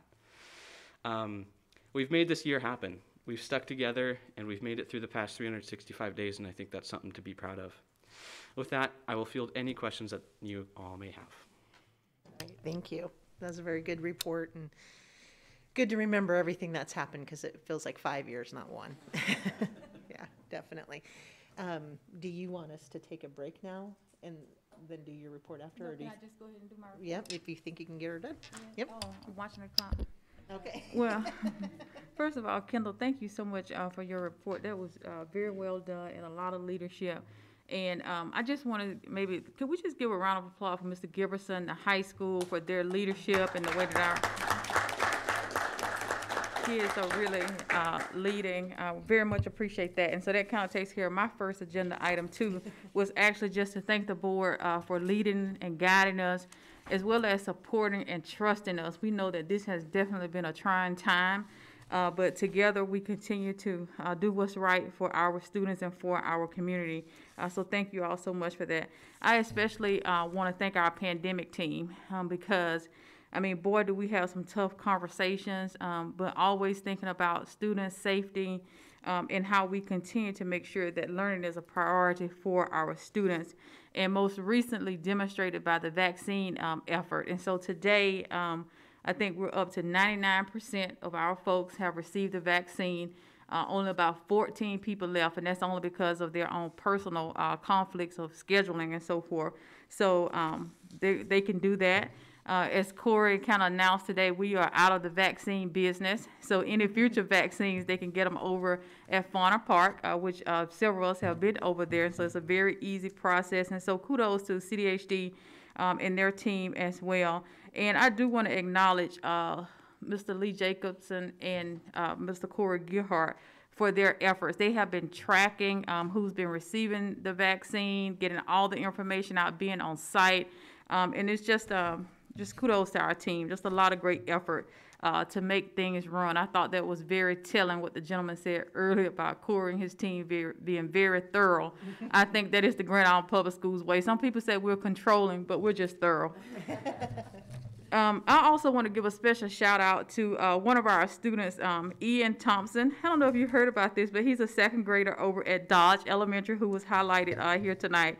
Uh, today he received a power wheelchair, uh, which he has been working to get for years. So after two years of work, uh, physical therapist uh, Jenny Rother was able to acquire the funds necessary for Ian to receive this wheelchair. And I hear that it's very special, had to be special order, and so it was delivered to him today. Uh, his family was on hand for the event. Some media was there, and he was so excited. This is kind of funny. I wasn't there, but people told me about it. Um, he was so excited to drive the wheelchair. He actually ran into his dad during the um, during the media interview. So I don't know if they would show that on the news, but he's getting used to that wheelchair already. So uh, shout out to Ian. We're so proud of you. Uh, Jennifer Worthington and I, we will be presenting at Noon Rotary tomorrow. We'll be sharing excerpts from the annual report um, so that we can keep the community informed. Um, I will also be taking part later this week um, in an event or a series through NET. Don't know if you've heard of it, but it's called Nebraska Stories. Um, it's a TV production, um, and so they want to cover how we have responded to uh, the pandemic. So I'm sure I have a lot to say about GIPS uh, during that time. But this will also give me an opportunity to go over to Shoemaker uh, to their little media uh, setup to see their Eagle Eyes news and action. I asked them if it was okay for humble little Dr. Grover to come over and bar their studio. Uh, so they, I'm excited to see them in action as well. And just for um, as a point of privilege. Um, I do want to acknowledge Mr. Harden. I know we had an opportunity to celebrate him uh, earlier today, and today was uh, supposed to officially be his last day. And I think Mr. Harden told me, do I have this right, that he has attended 650 board meetings? Wow. Give him a round of applause. For all of, yes, yes.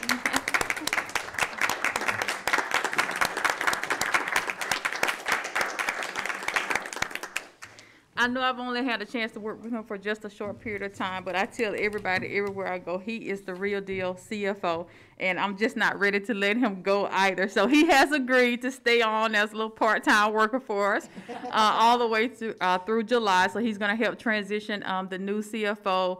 And I know that, um, you know, that's a huge responsibility because we already know that he has some other uh, job responsibilities, but he loves and cares for GIPS so much that he's willing to do that. So thank you so much, uh, Mr. Harden.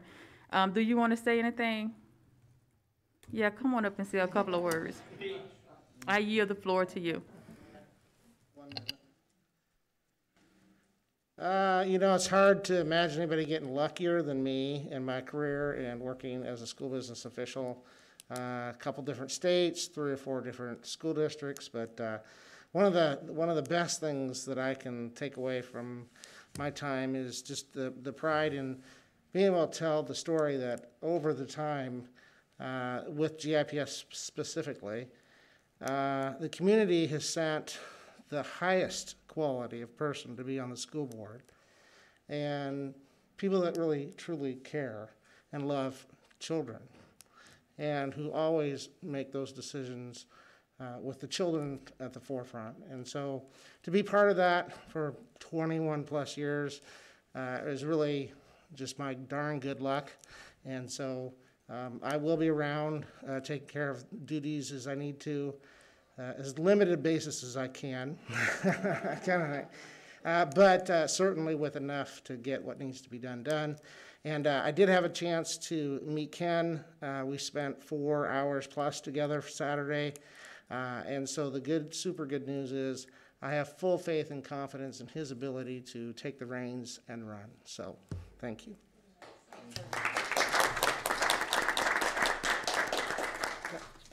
So, and yes, you've left this place a much better place or position, I guess I should say, as, than it was when you first got here, so thank you very, very much.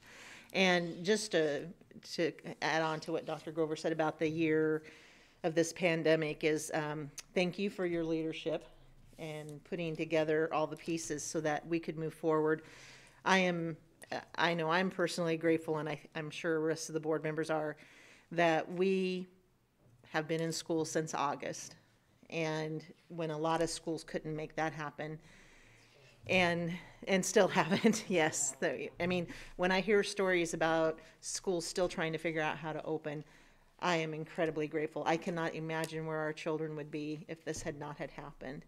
And it, and so thank you to the teachers uh, for being willing to continue teaching in person. And um, it's just been extraordinary, very humbling to watch all of you in your leadership positions. So thank you for making it happen. All right, I'm going to suggest that we take a break. And um, before we move into action items, because at 7:30 we'll, we will join that presentation from NASB. So feel free to, please be back by 7:30.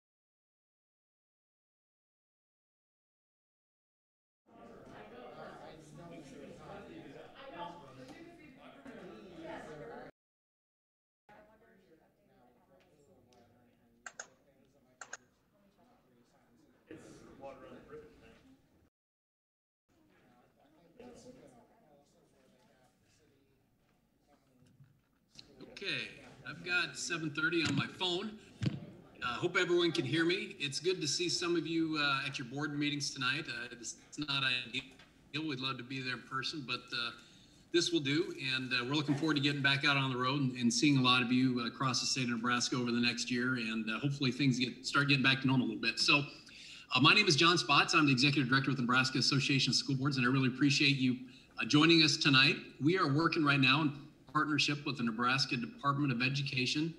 And we're very pleased that the NDE is engaging school board members in a brief overview of the proposed changes to Rule 10. And you might wonder, why is this important to you? Uh, well, Rule 10 deals with the annual accreditation of your school district. So it's a very important area, and they are going through, through some changes right now, and we're very pleased that they're engaging school boards on those proposed changes. So we've been doing this all month in March. Uh, we've been able to uh, be participate in a number of school board meetings all across the state throughout the month. And at the end of this week, our NASB board leadership staff will seek your feedback on behalf of NDE. So you will be getting a, a, an email link to a survey that's going to enable you to provide feedback on some of the changes uh, that they're proposing in Rule 10. And if you have any questions about that, please don't hesitate to contact me or anyone at the association. We'd be thrilled to help you. So we do have a, a very brief presentation, and tonight we have Don Loseke, who's a Director of Accreditation with the Nebraska Department of Education. So Don, I'm going to turn it over to you. And again, thank you very much for this partnership. We've enjoyed getting to know some of the folks over there uh, in the accreditation department, and uh, thanks for doing this tonight.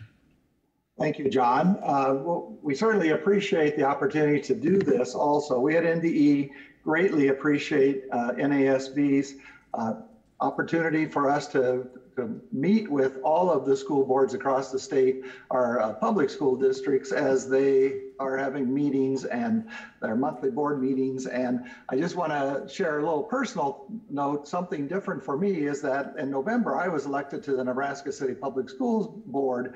And so I've had three meetings now under my belt starting in January. And I've been in education a long time, and many of you know me, and I've worked with many of you that are on, on this uh, webinar tonight.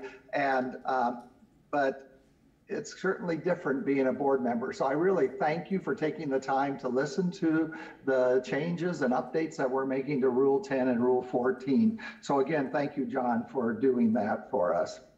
Um, we're going to talk about approval, accreditation, and accountability. And you're going to hear me say those three words, and we refer to them a lot of times as the three A's. Uh, but when you hear the word approval, I want you to think about um, minimal standards. Similar to what's in Rule 10 and Rule 14 for our non-public schools, is Rule 10 is minimal standards of operation of a school. And so keep that in mind when you hear about approval and as I talk about approval. The next one is the accreditation and accreditation is, is based on continuous improvement. For many years, we have really been trying to emphasize the, the importance of, of continuous improvement with our schools that you really cannot make any progress unless you have a solid or sound accredit, uh, continuous improvement process. So keep that in mind when you hear the accreditation. Then when we have the accountability, uh, that is really uh, talking about the um, how schools are are doing the their performance. How are they moving forward in uh, making progress towards their action plans, making progress in student growth, making progress in just what they do with their schools. So keep in mind all of those definitions as you hear about approval, accreditation, and accountability. Um, with a, a accountability, we, you're looking at your data. So with that, we're going to go on to the what. Right now, what is this all about? Why are we talking about this? Currently, we have two rules, Rule 10 and Rule 14, that we are using to guide our approval and our accreditation process. Our Rule 10, Regulations and Procedures for the Accreditation of Schools, which was uh, last updated in 2015, so it's been a few years, uh, deals with our, all of our public schools, the minimum requirements that they have to function as a school. So it's the regulations and procedures and um, I know your superintendents are all very aware of Rule 10 and the regulations and requirements that they need to meet. They submit an assurance statement and so forth. So we're looking at that is what currently we're using as the Rule 10. For our non-public schools, we have our regulation procedures for the legal operation of approval of non-public schools, which hasn't been updated since 2012. But that is for all of our non-public schools have to meet those minimum requirements to be approved. Now, non-public schools have the option to be accredited also at this time, and there is a process outlined in Rule 10 that they can use to um, um, become accredited. Uh, but they have to ask for that accreditation, otherwise they are approved. But you can kind of see as I'm talking about Rule 10 and Rule 14 that there may be some confusion, uh, some lack of clarity in what is, what do we mean by Rule 10? What do we mean by Rule 14? Which schools is it for? Is it for public? Is it for non-public? And so one of the things that we're hoping to do as, is make, work on our clarity of rules so that everybody understands what rule they need to be using as they are moving forward. Um, so what is this, all, also, what is this all about? It's also about um, making sure that um, our non-public schools, that, excuse me, make sure that we don't have any confusion around the approval, around the process at all, and that we can tie together what's happening in Rule 10 and Rule 14 that there is similar terminology, that there is kind of a through line between what happens with public and with non-public schools. So why are we doing this now? We have started this process almost two years ago of looking at how can we change Rule 10 and Rule 14 was pulled into that also. And so um, it really is the first thing is what I've been talking about is to provide some clarity to you. Um, provide clarity for our schools that we're uh, separating our general compliance from accreditation. We're separating approval from accreditation. And so all schools, no matter what, if they are public or non-public, will go through the approval rule, the approval process, so that there is no question of what, what does it mean to be an approved school. The other thing is to try to create some, some coherence. We are looking for links that that go from approval through accreditation through accountability because uh, we're in the process of really putting those three rules together into an accreditation system a system of accreditation, a way that schools will function from approval, accreditation into uh, accreditation into accountability. So we're looking to create more coherence between the rules, no matter if you're a public or a non-public school. Also, we're trying to provide some equity with limited resources. We are not going to be gaining any additional resources for, from NDE to provide to our school districts with this process. And, but we are trying to look at what can we do differently in our services, our support that we provide from NDE to our school.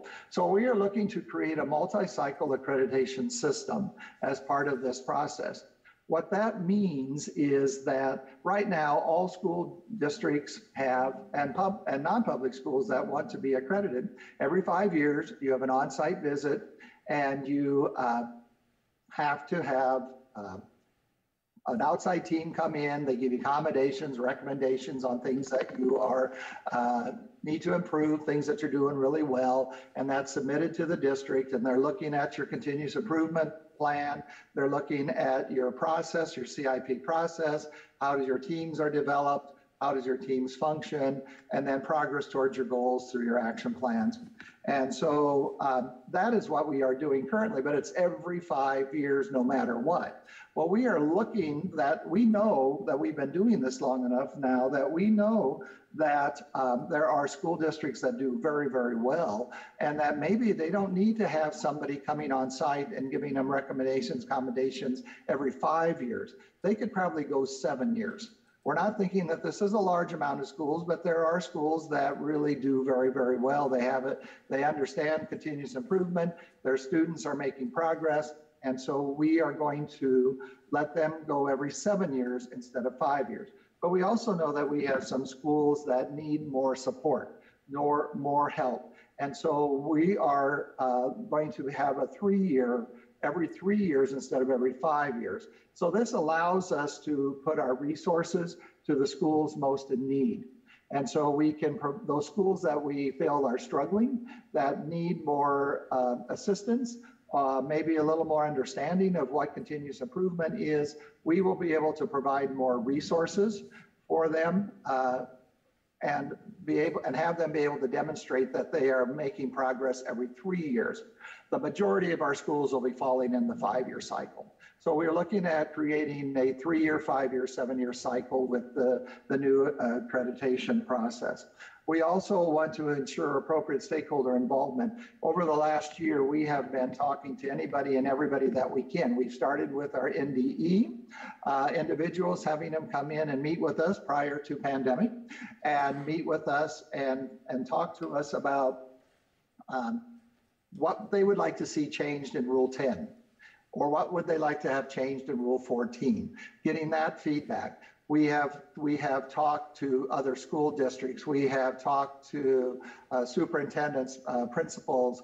Uh, now we're sharing with you, and we're going to have an opportunity for you to share information with us also. But we also have what is called our State Accreditation Committee that meets twice a year. That is a that is a representatives across the state of all size schools, and it has some non-educators on it also, and um, and they're across the state and it's a 23 member board right now, and they are advisory to the commissioner. We bounce ideas off of them every time we meet, and they give us pushback. And they we have presented uh, ideas to them that they said, no way, that's not going to work. Take it back and come back with something else.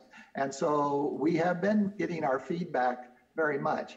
But we also want to get feedback from our school boards, and we want to make sure that our school boards, as we move forward in the new rules, is that there is a little more involvement with our school boards, a little more knowledge, especially around the like the assurance statement, that one of our new uh, uh, regulations that we are recommending in the approval rule is that the superintendent shares with the board their assurance statement and what they are reporting and have a representative of the school board sign off on that also so that they're aware of of the assurance statement to begin with, but then also what is the what is the information that they are sharing with us as far as uh, meeting the guidelines that are in the rule. So this all started with the board position statement S2 from uh, Accountability for a Quality Educational System today and tomorrow. Everybody heard, I've heard of AQuESTT, I'm assuming, but the state board would like AQuESTT to serve as the framework for approval, accreditation, and accountability. And you will see that as you look at it, that the tenets of AQuESTT fall within the three broad domains of leadership, success, access and support, and teaching, learning, and serving. And then there are six uh, tenets. Um, so in October of 2020, the state board said that they, they kind of put a stake in the ground and they said, in moving forward, we're going to repeal current Rule 10 and 14. We are going to have three new rules, approval, accreditation, accountability, that will make up an, an accreditation system and keeping in mind what those approval, accreditation, accountability. And so we have been working very hard to make this happen. And I'm watching my time. So um, so who has been involved in that? And I've kind of gone over this already. We started with our Nebraska Department of Education. We've been listening to our administrators, teachers, staff, and we're trying to get feedback from local school board. I have to stop and say that I really appreciate the work that we have been doing with Marcia and John at NASB because we have a great partnership that has developed about two years ago where we are meeting now quarterly and just keeping each other updated on what's happening on their side of things and what's happening on our side with approval and accreditation. And it's been a great partnership. And this is a result of some of that partnership is, is supporting us in our work as we move forward with this. I also have to talk about our educational service units. We have spent a lot of time with our ESUs. I hope all of you are working with your ESUs. They are great uh, organizations that support our schools. They, they also give us information. They listen to their schools and they're able to give us the information. But we also want to get the information from community members and get the word out what is happening and get feedback from our community members also. So how are we doing this? So up until this point, we are we kind of into our in game right now, even though it's only March.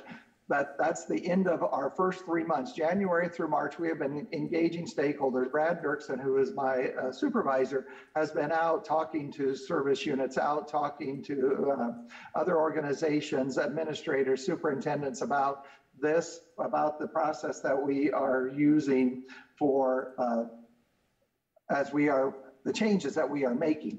And so we're almost to the end of that. So the middle of April, we hope to have the three draft rules available uh, with for public online comment.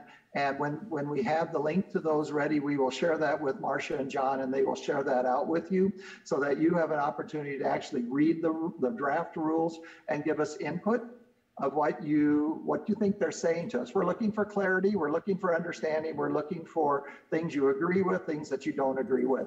So that in between July and September, we're going to take all of that information and finalize our draft so that by the by the board meeting in October, we're hoping to have the board be able to vote on the draft so that we can send those to the, the AG and the governor for their approval so that we have this approved in December of 2021. Implementation of it would not start until the fall of 22, 23. Uh, we would take a semester to do some training, the rolling it out, talking to our schools, and there could even be some phase in of some of the uh, language that's in the rule also. So with that, I know I'm, I've kind of gone over my time. I want to thank all of you first for listening to me ramble on. And then also, I want to thank you and your teachers and your uh, administrators for all of the hard work they've had for the last year and this year. Uh, it's phenomenal. It is just phenomenal, the work that our schools have done to keep our kids in school and being educated and in, in a time like none before. So thank you, John, and thank you to all of the board members that are here. And, and again, thank you, Don. We appreciate this relationship, and it's it's good to see uh, the board members out there uh, in action tonight. We can't wait to see you in person. So don't hesitate to reach out to NDE or NASB with questions, and you will be getting that survey soon. And uh, this will conclude our workshop tonight. Thanks. Good seeing everybody. I don't know if they can see us, but. All right, we will, I think if we're done there, yep. We'll move ahead to our action items. Uh, seven point one is the workforce prep lease agreement for twenty twenty-one through twenty twenty-three. Dr. Dexter. Yes, and I presented this last month, so this is on um, uh, the agenda for approval. And it is the lease with the Workforce Development, which formerly known as the coffee shop, or Islander Express. And um, we will be uh, leasing it. We did increase it by $100 a month. And the leasing for the initial period for three years, beginning July 1, 2021, and can extend it one more year after that. Okay. Anybody have any questions? If not, I'd entertain an emotion. Mr. Barsonis. I approve the lease agreement with Danny Oberg for the property at 644 South Locust for the Workforce Prep Academy as submitted. And is there a second? I think I heard Mrs. Albers, second. Please, or any discussion, sorry. Please vote.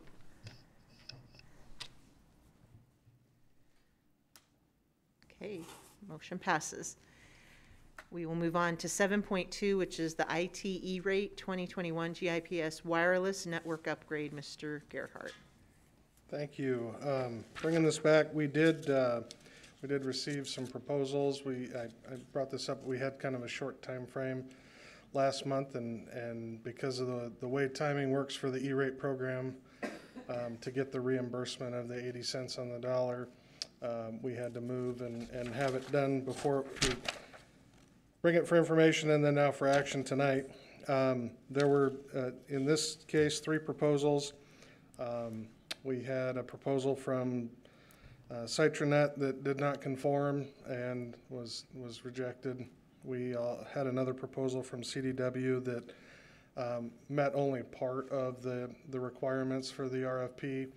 Um, In this case, they, they bid the equipment, but none of the services required to get it up and running. And so that wasn't, uh, wasn't something that we were gonna follow through with, so we also rejected that bid. So we really only have one valid bidder. Um, which is Prime Communication. The, um, the pricing is uh, definitely in line, if not more advantageous than I've seen in the past um, with this particular product set. Um, So I, I have no reservations about entering into it. Um, Essentially, what they're going to do is, uh, we have about 400 access points and a couple of controllers. We, we need to upgrade our wireless system to move it to the next generation of code in order to continue to, to grow and, and to meet the demands of the additional bandwidth that um, students and, and staff need. So um, with that, I would recommend that we um, enter into an agreement with Prime Communications um, for the amount of $354,923 with the understanding that um, $280,000 of that, 281,000 approximately, will be part of the E-rate reimbursement. That'll be funded and paid directly to Prime. And so the general fund impact um, out of my capital equipment budget is going to be $73,971. Okay. Are there any questions? Uh, Any questions for Mr. Gerhart? Okay, if not, I'd entertain a motion. Mr. Brown, I would move to approve the purchase of wireless equipment and services from Prime Communications as presented. and is there a second? Second. Second, Mrs. Albers, any discussion? Please vote. Okay, motion passes. Seven point three is the IT E-rate for twenty twenty-one Gish wired network upgrade, Mr. Gerhart. So fairly similar process through the E-rate program. Uh, we put the RFP out, did information on it last month. We received four bids, um, for this proposal. That same company you might notice before, um, it's essentially, uh, they just inundated you with, uh, with product brochures and told you to figure out your own program. And so obviously it doesn't, didn't conform. Again, so that bid was rejected. Um, Net Diverse did a little bit closer, actually uh, gave some bids for specific products and, and things and uh, that would be used, but obviously the price tag is astronomical. Um, Three million dollars, I mean, it's an order of magnitude above where we, we are with the other two vendors. Um, Hamilton and Kidwell both um, gave proposals. Um, we, you know, this is one of those things where when you look at RFPs, um, you, you have to be, uh, you have to be particular about what you're asking for. And in this case, we asked for, you know, CommScope compatible um, cabling and, and connectors because that's the district SOP. And so at this point, the only, the only team that actually bid that was Kidwell.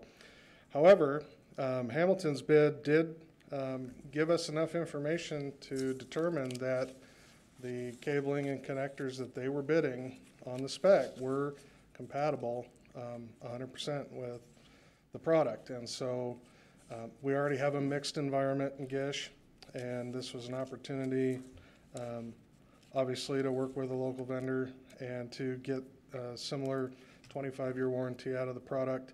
And so after reviewing, after meeting their team, doing our due diligence, um, we are recommending that we go with the, the low bidder here, which is Hamilton uh, Communications, for a, a price tag of three hundred ninety-four thousand one hundred and ten dollars. Of that, um, the E-rate discount will be uh, not quite eighty percent of that if you do the math. We, we do have some things that are excluded because, for example, um, we can't E-rate cabling that's designed solely for uh, CCTV systems because that's not a direct impact to network delivery to students and so or staff. And so um, we did exclude those services that aren't in there, and that's why the percentage or the discounts looks a little bit lower, and the, the GIPS general fund percentage is a little higher.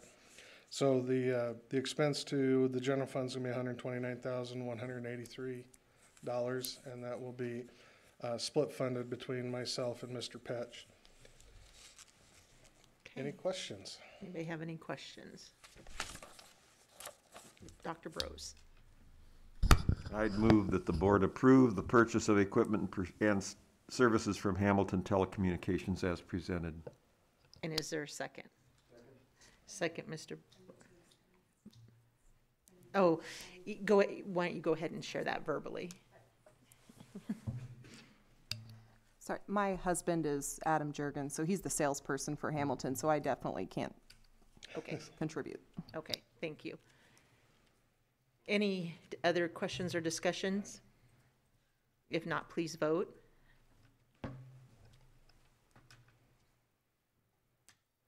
Okay, motion passes. Thank you. Thank you. All right, we'll move to the committee reports. First one is eight point one, Finance and Facilities, Mr. Brown.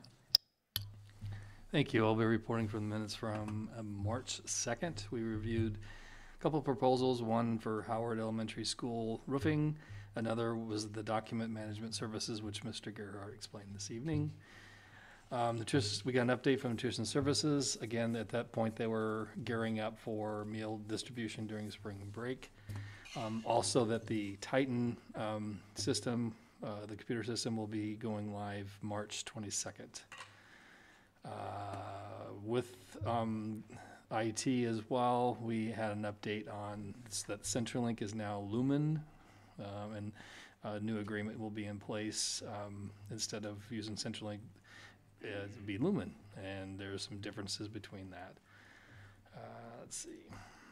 Um, Other programs, um, the the, um, depreciation fund, special building fund, general fund, all were reviewed as well as the federal programs, which um, is always fun.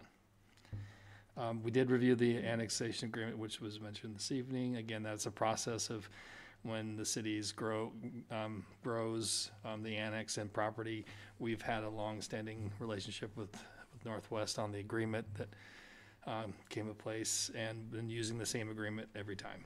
So really never been an issue, uh, once we got that figured out. Um, see. We did get an update on the Welcome um, Center space. So the Welcome Center, for those of you who don't know, is up at the, um, the Health Department.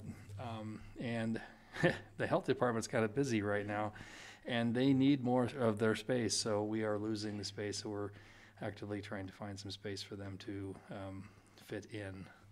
Um, It's been really nice to have them at the Welcome Center, but um, unfortunately, um, they need the space uh, just as much as we do. Uh, We did get an update from Mr. Harden on the CARES Act, and again, we're kind of a wait and see on, on what's going to happen and, and and whatnot on that.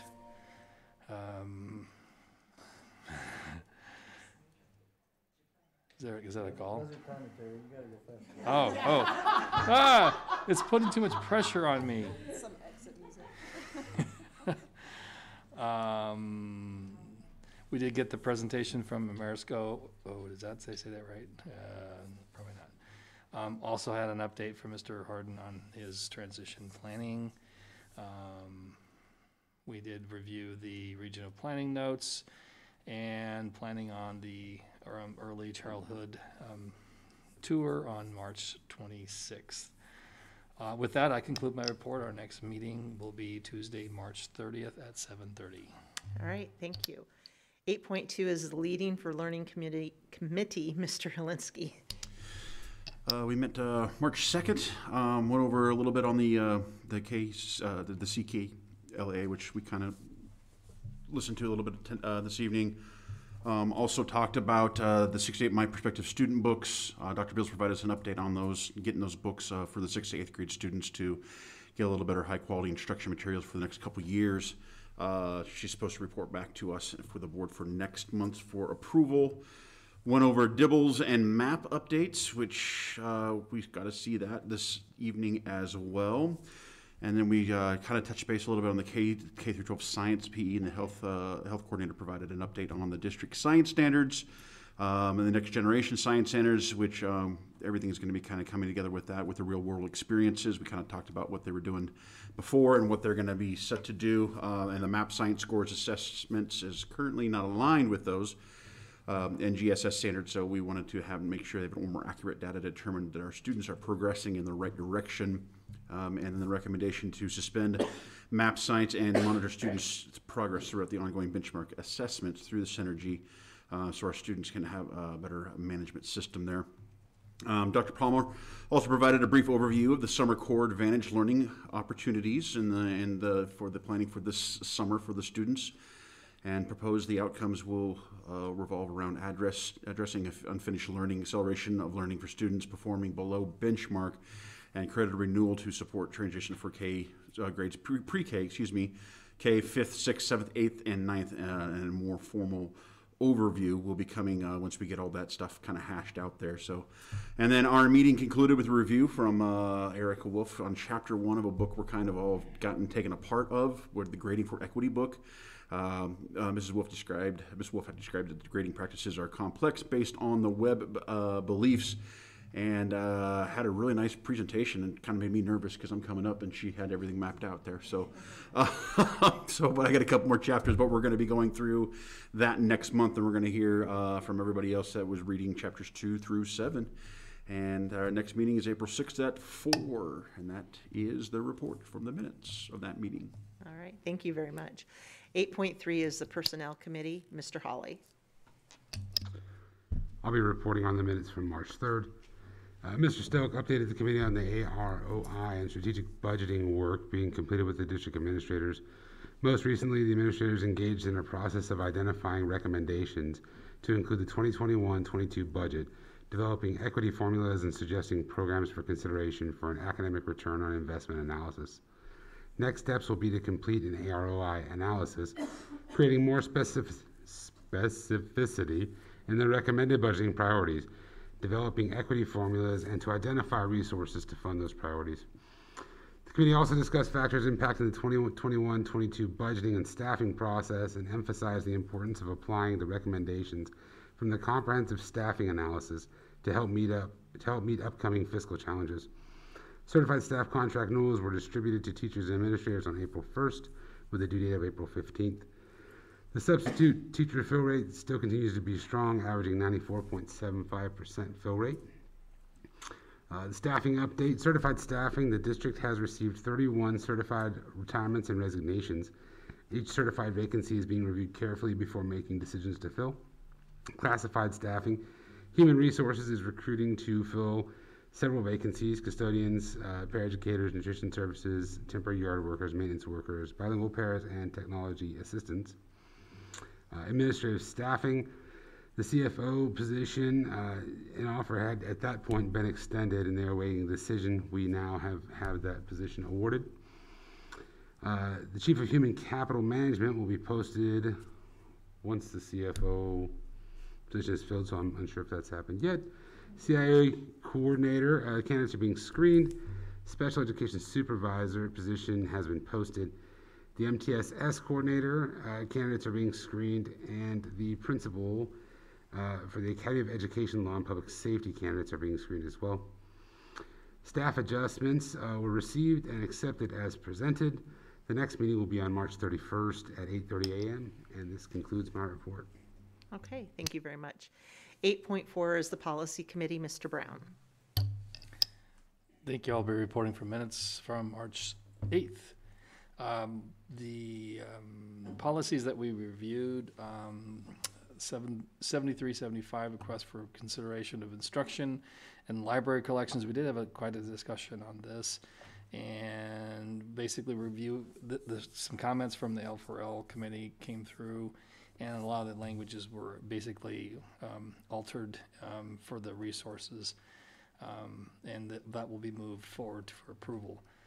Uh, the 4440 purchasing authority, um, basically looking at um, uh, the way that we do our, our purchasing, and just cleaned up some of that language that will be moved forward along with the 44, 42 um, local purchasing. they're kind of combined the 84 or 40 um, use of tobacco, alcohol, and collect and controlled substances by students, basically updating um, the vaping um, violation policy in that one. Also, under 8450, the student discipline, we're working with the guidance counselors on the policies equity analysis framework to be involved in that one. The 87 or 8570 drug-free school and campuses we're basically updating the definitions of, the, of tobacco and non-tobacco products.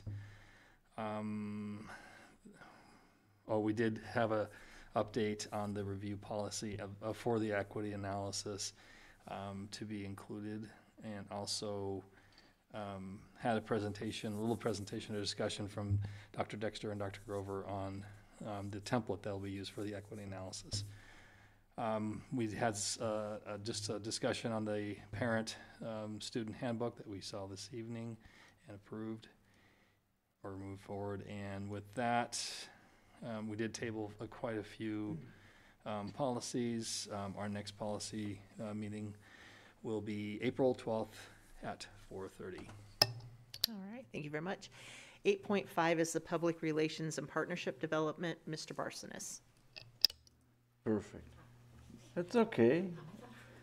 Don't worry. Well, you'll take it next month. um, well, being on the street is uh, what we started with. Our meeting was March 5th, and uh, we really started with a lot of uh, positive comments around teachers getting vaccinated and uh, um, the plans for prom and graduation. A lot of positive stuff coming up, and I might need uh, Dr. Dexter's uh, help here because you thought my last name was hard. So, Families in Transition Program, Dr. Dexter and uh, Mrs. Bo- is it? There you go. Right. So, Boslager, and uh, yeah. So, uh, give us an, an update on the Families in Transition Program, and just uh, what what they have going on, and especially some of the the hurdles and stuff with COVID, with homeless students, and a lot of the good work that they're doing. Uh, uh, I think they've been. I know I've heard in the community from some of the families that have been impacted from the program. It's just been uh, a good place to be. So. Um, we spent a little bit of time also. We continue to talk with with the sharing information with the governance committee about um, Kendall. Well, Kendall's position in the sense of how do we continue to improve the communication of what does the student rep and his role play, and how can we help spread the word not, only at the high school but also at uh, earlier earlier grades. Um, Jennifer uh, gave us an update on our social media calendar. And I'm sure many of you remember, probably Kendall is the only one that years, years, years ago, when it was a no-no to be on Facebook when you were at work, and now things have changed. Uh, we've had uh, live with Grover, possibly Instagram with Grover as well, and maybe soon TikTok with Tawana. So we'll see. the group asked about what is the role of TikTok and what are we going to be doing with that. And again, media platforms keep changing, so we need to keep uh, updating with it. Um, we've gotten a lot of a lot of uh, media coverage from uh, Nebraska Loves Public Schools with COVID, um, with uh, avi- aviation, all the, the the stuff that was out there. Um, also, Ms. Albers and Julie Gordermaker were the ne- were in the news helping with the vaccines. So a lot of good uh, coverage that we've had. We talked and shared more about the heartbeat, and in your notes there's a couple links. Otherwise, it's on the YouTube uh, and our social media pages about the heartbeat with uh, basketball and wrestling. And uh, again, a lot of positive, and I think it's been a lot of good, heartwarming stories and a real, authentic connection with what we have happening. Um, spent some time talking about an op-ed that was uh, yesterday in the Independent about the anniversary of uh, COVID. So if you haven't seen it, I think it was published in our Facebook page today as well, or shared. Um, Equity Task Force, just a quick update that we do have eight work groups right now. They're working and developing their plans. Um, continue to talk about website updates. That's still a work in progress and just general updates. And our next meeting is April 1st at 8 a.m. And with that, I conclude my report. All right, thank you. Grand Island Public Schools Foundation reports, Mrs. Jurgens. Thank you. Am- I on? Okay. All right, I'm reporting on the March 15th meeting. All students who graduate summa or magna cum laude will be honored at an academic honor ceremony at Gish Auditorium on April 14th at 7 p.m. These same students will receive a scholarship from the GIPS Foundation as long as they submitted a scholarship application.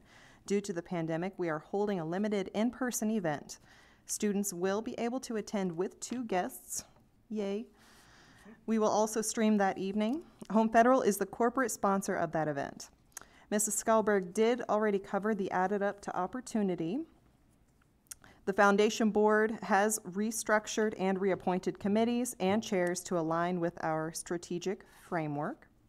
The foundation delivered over $35,000 in grants to the district the first week of March. Included at the end of the report is a summary of the grants.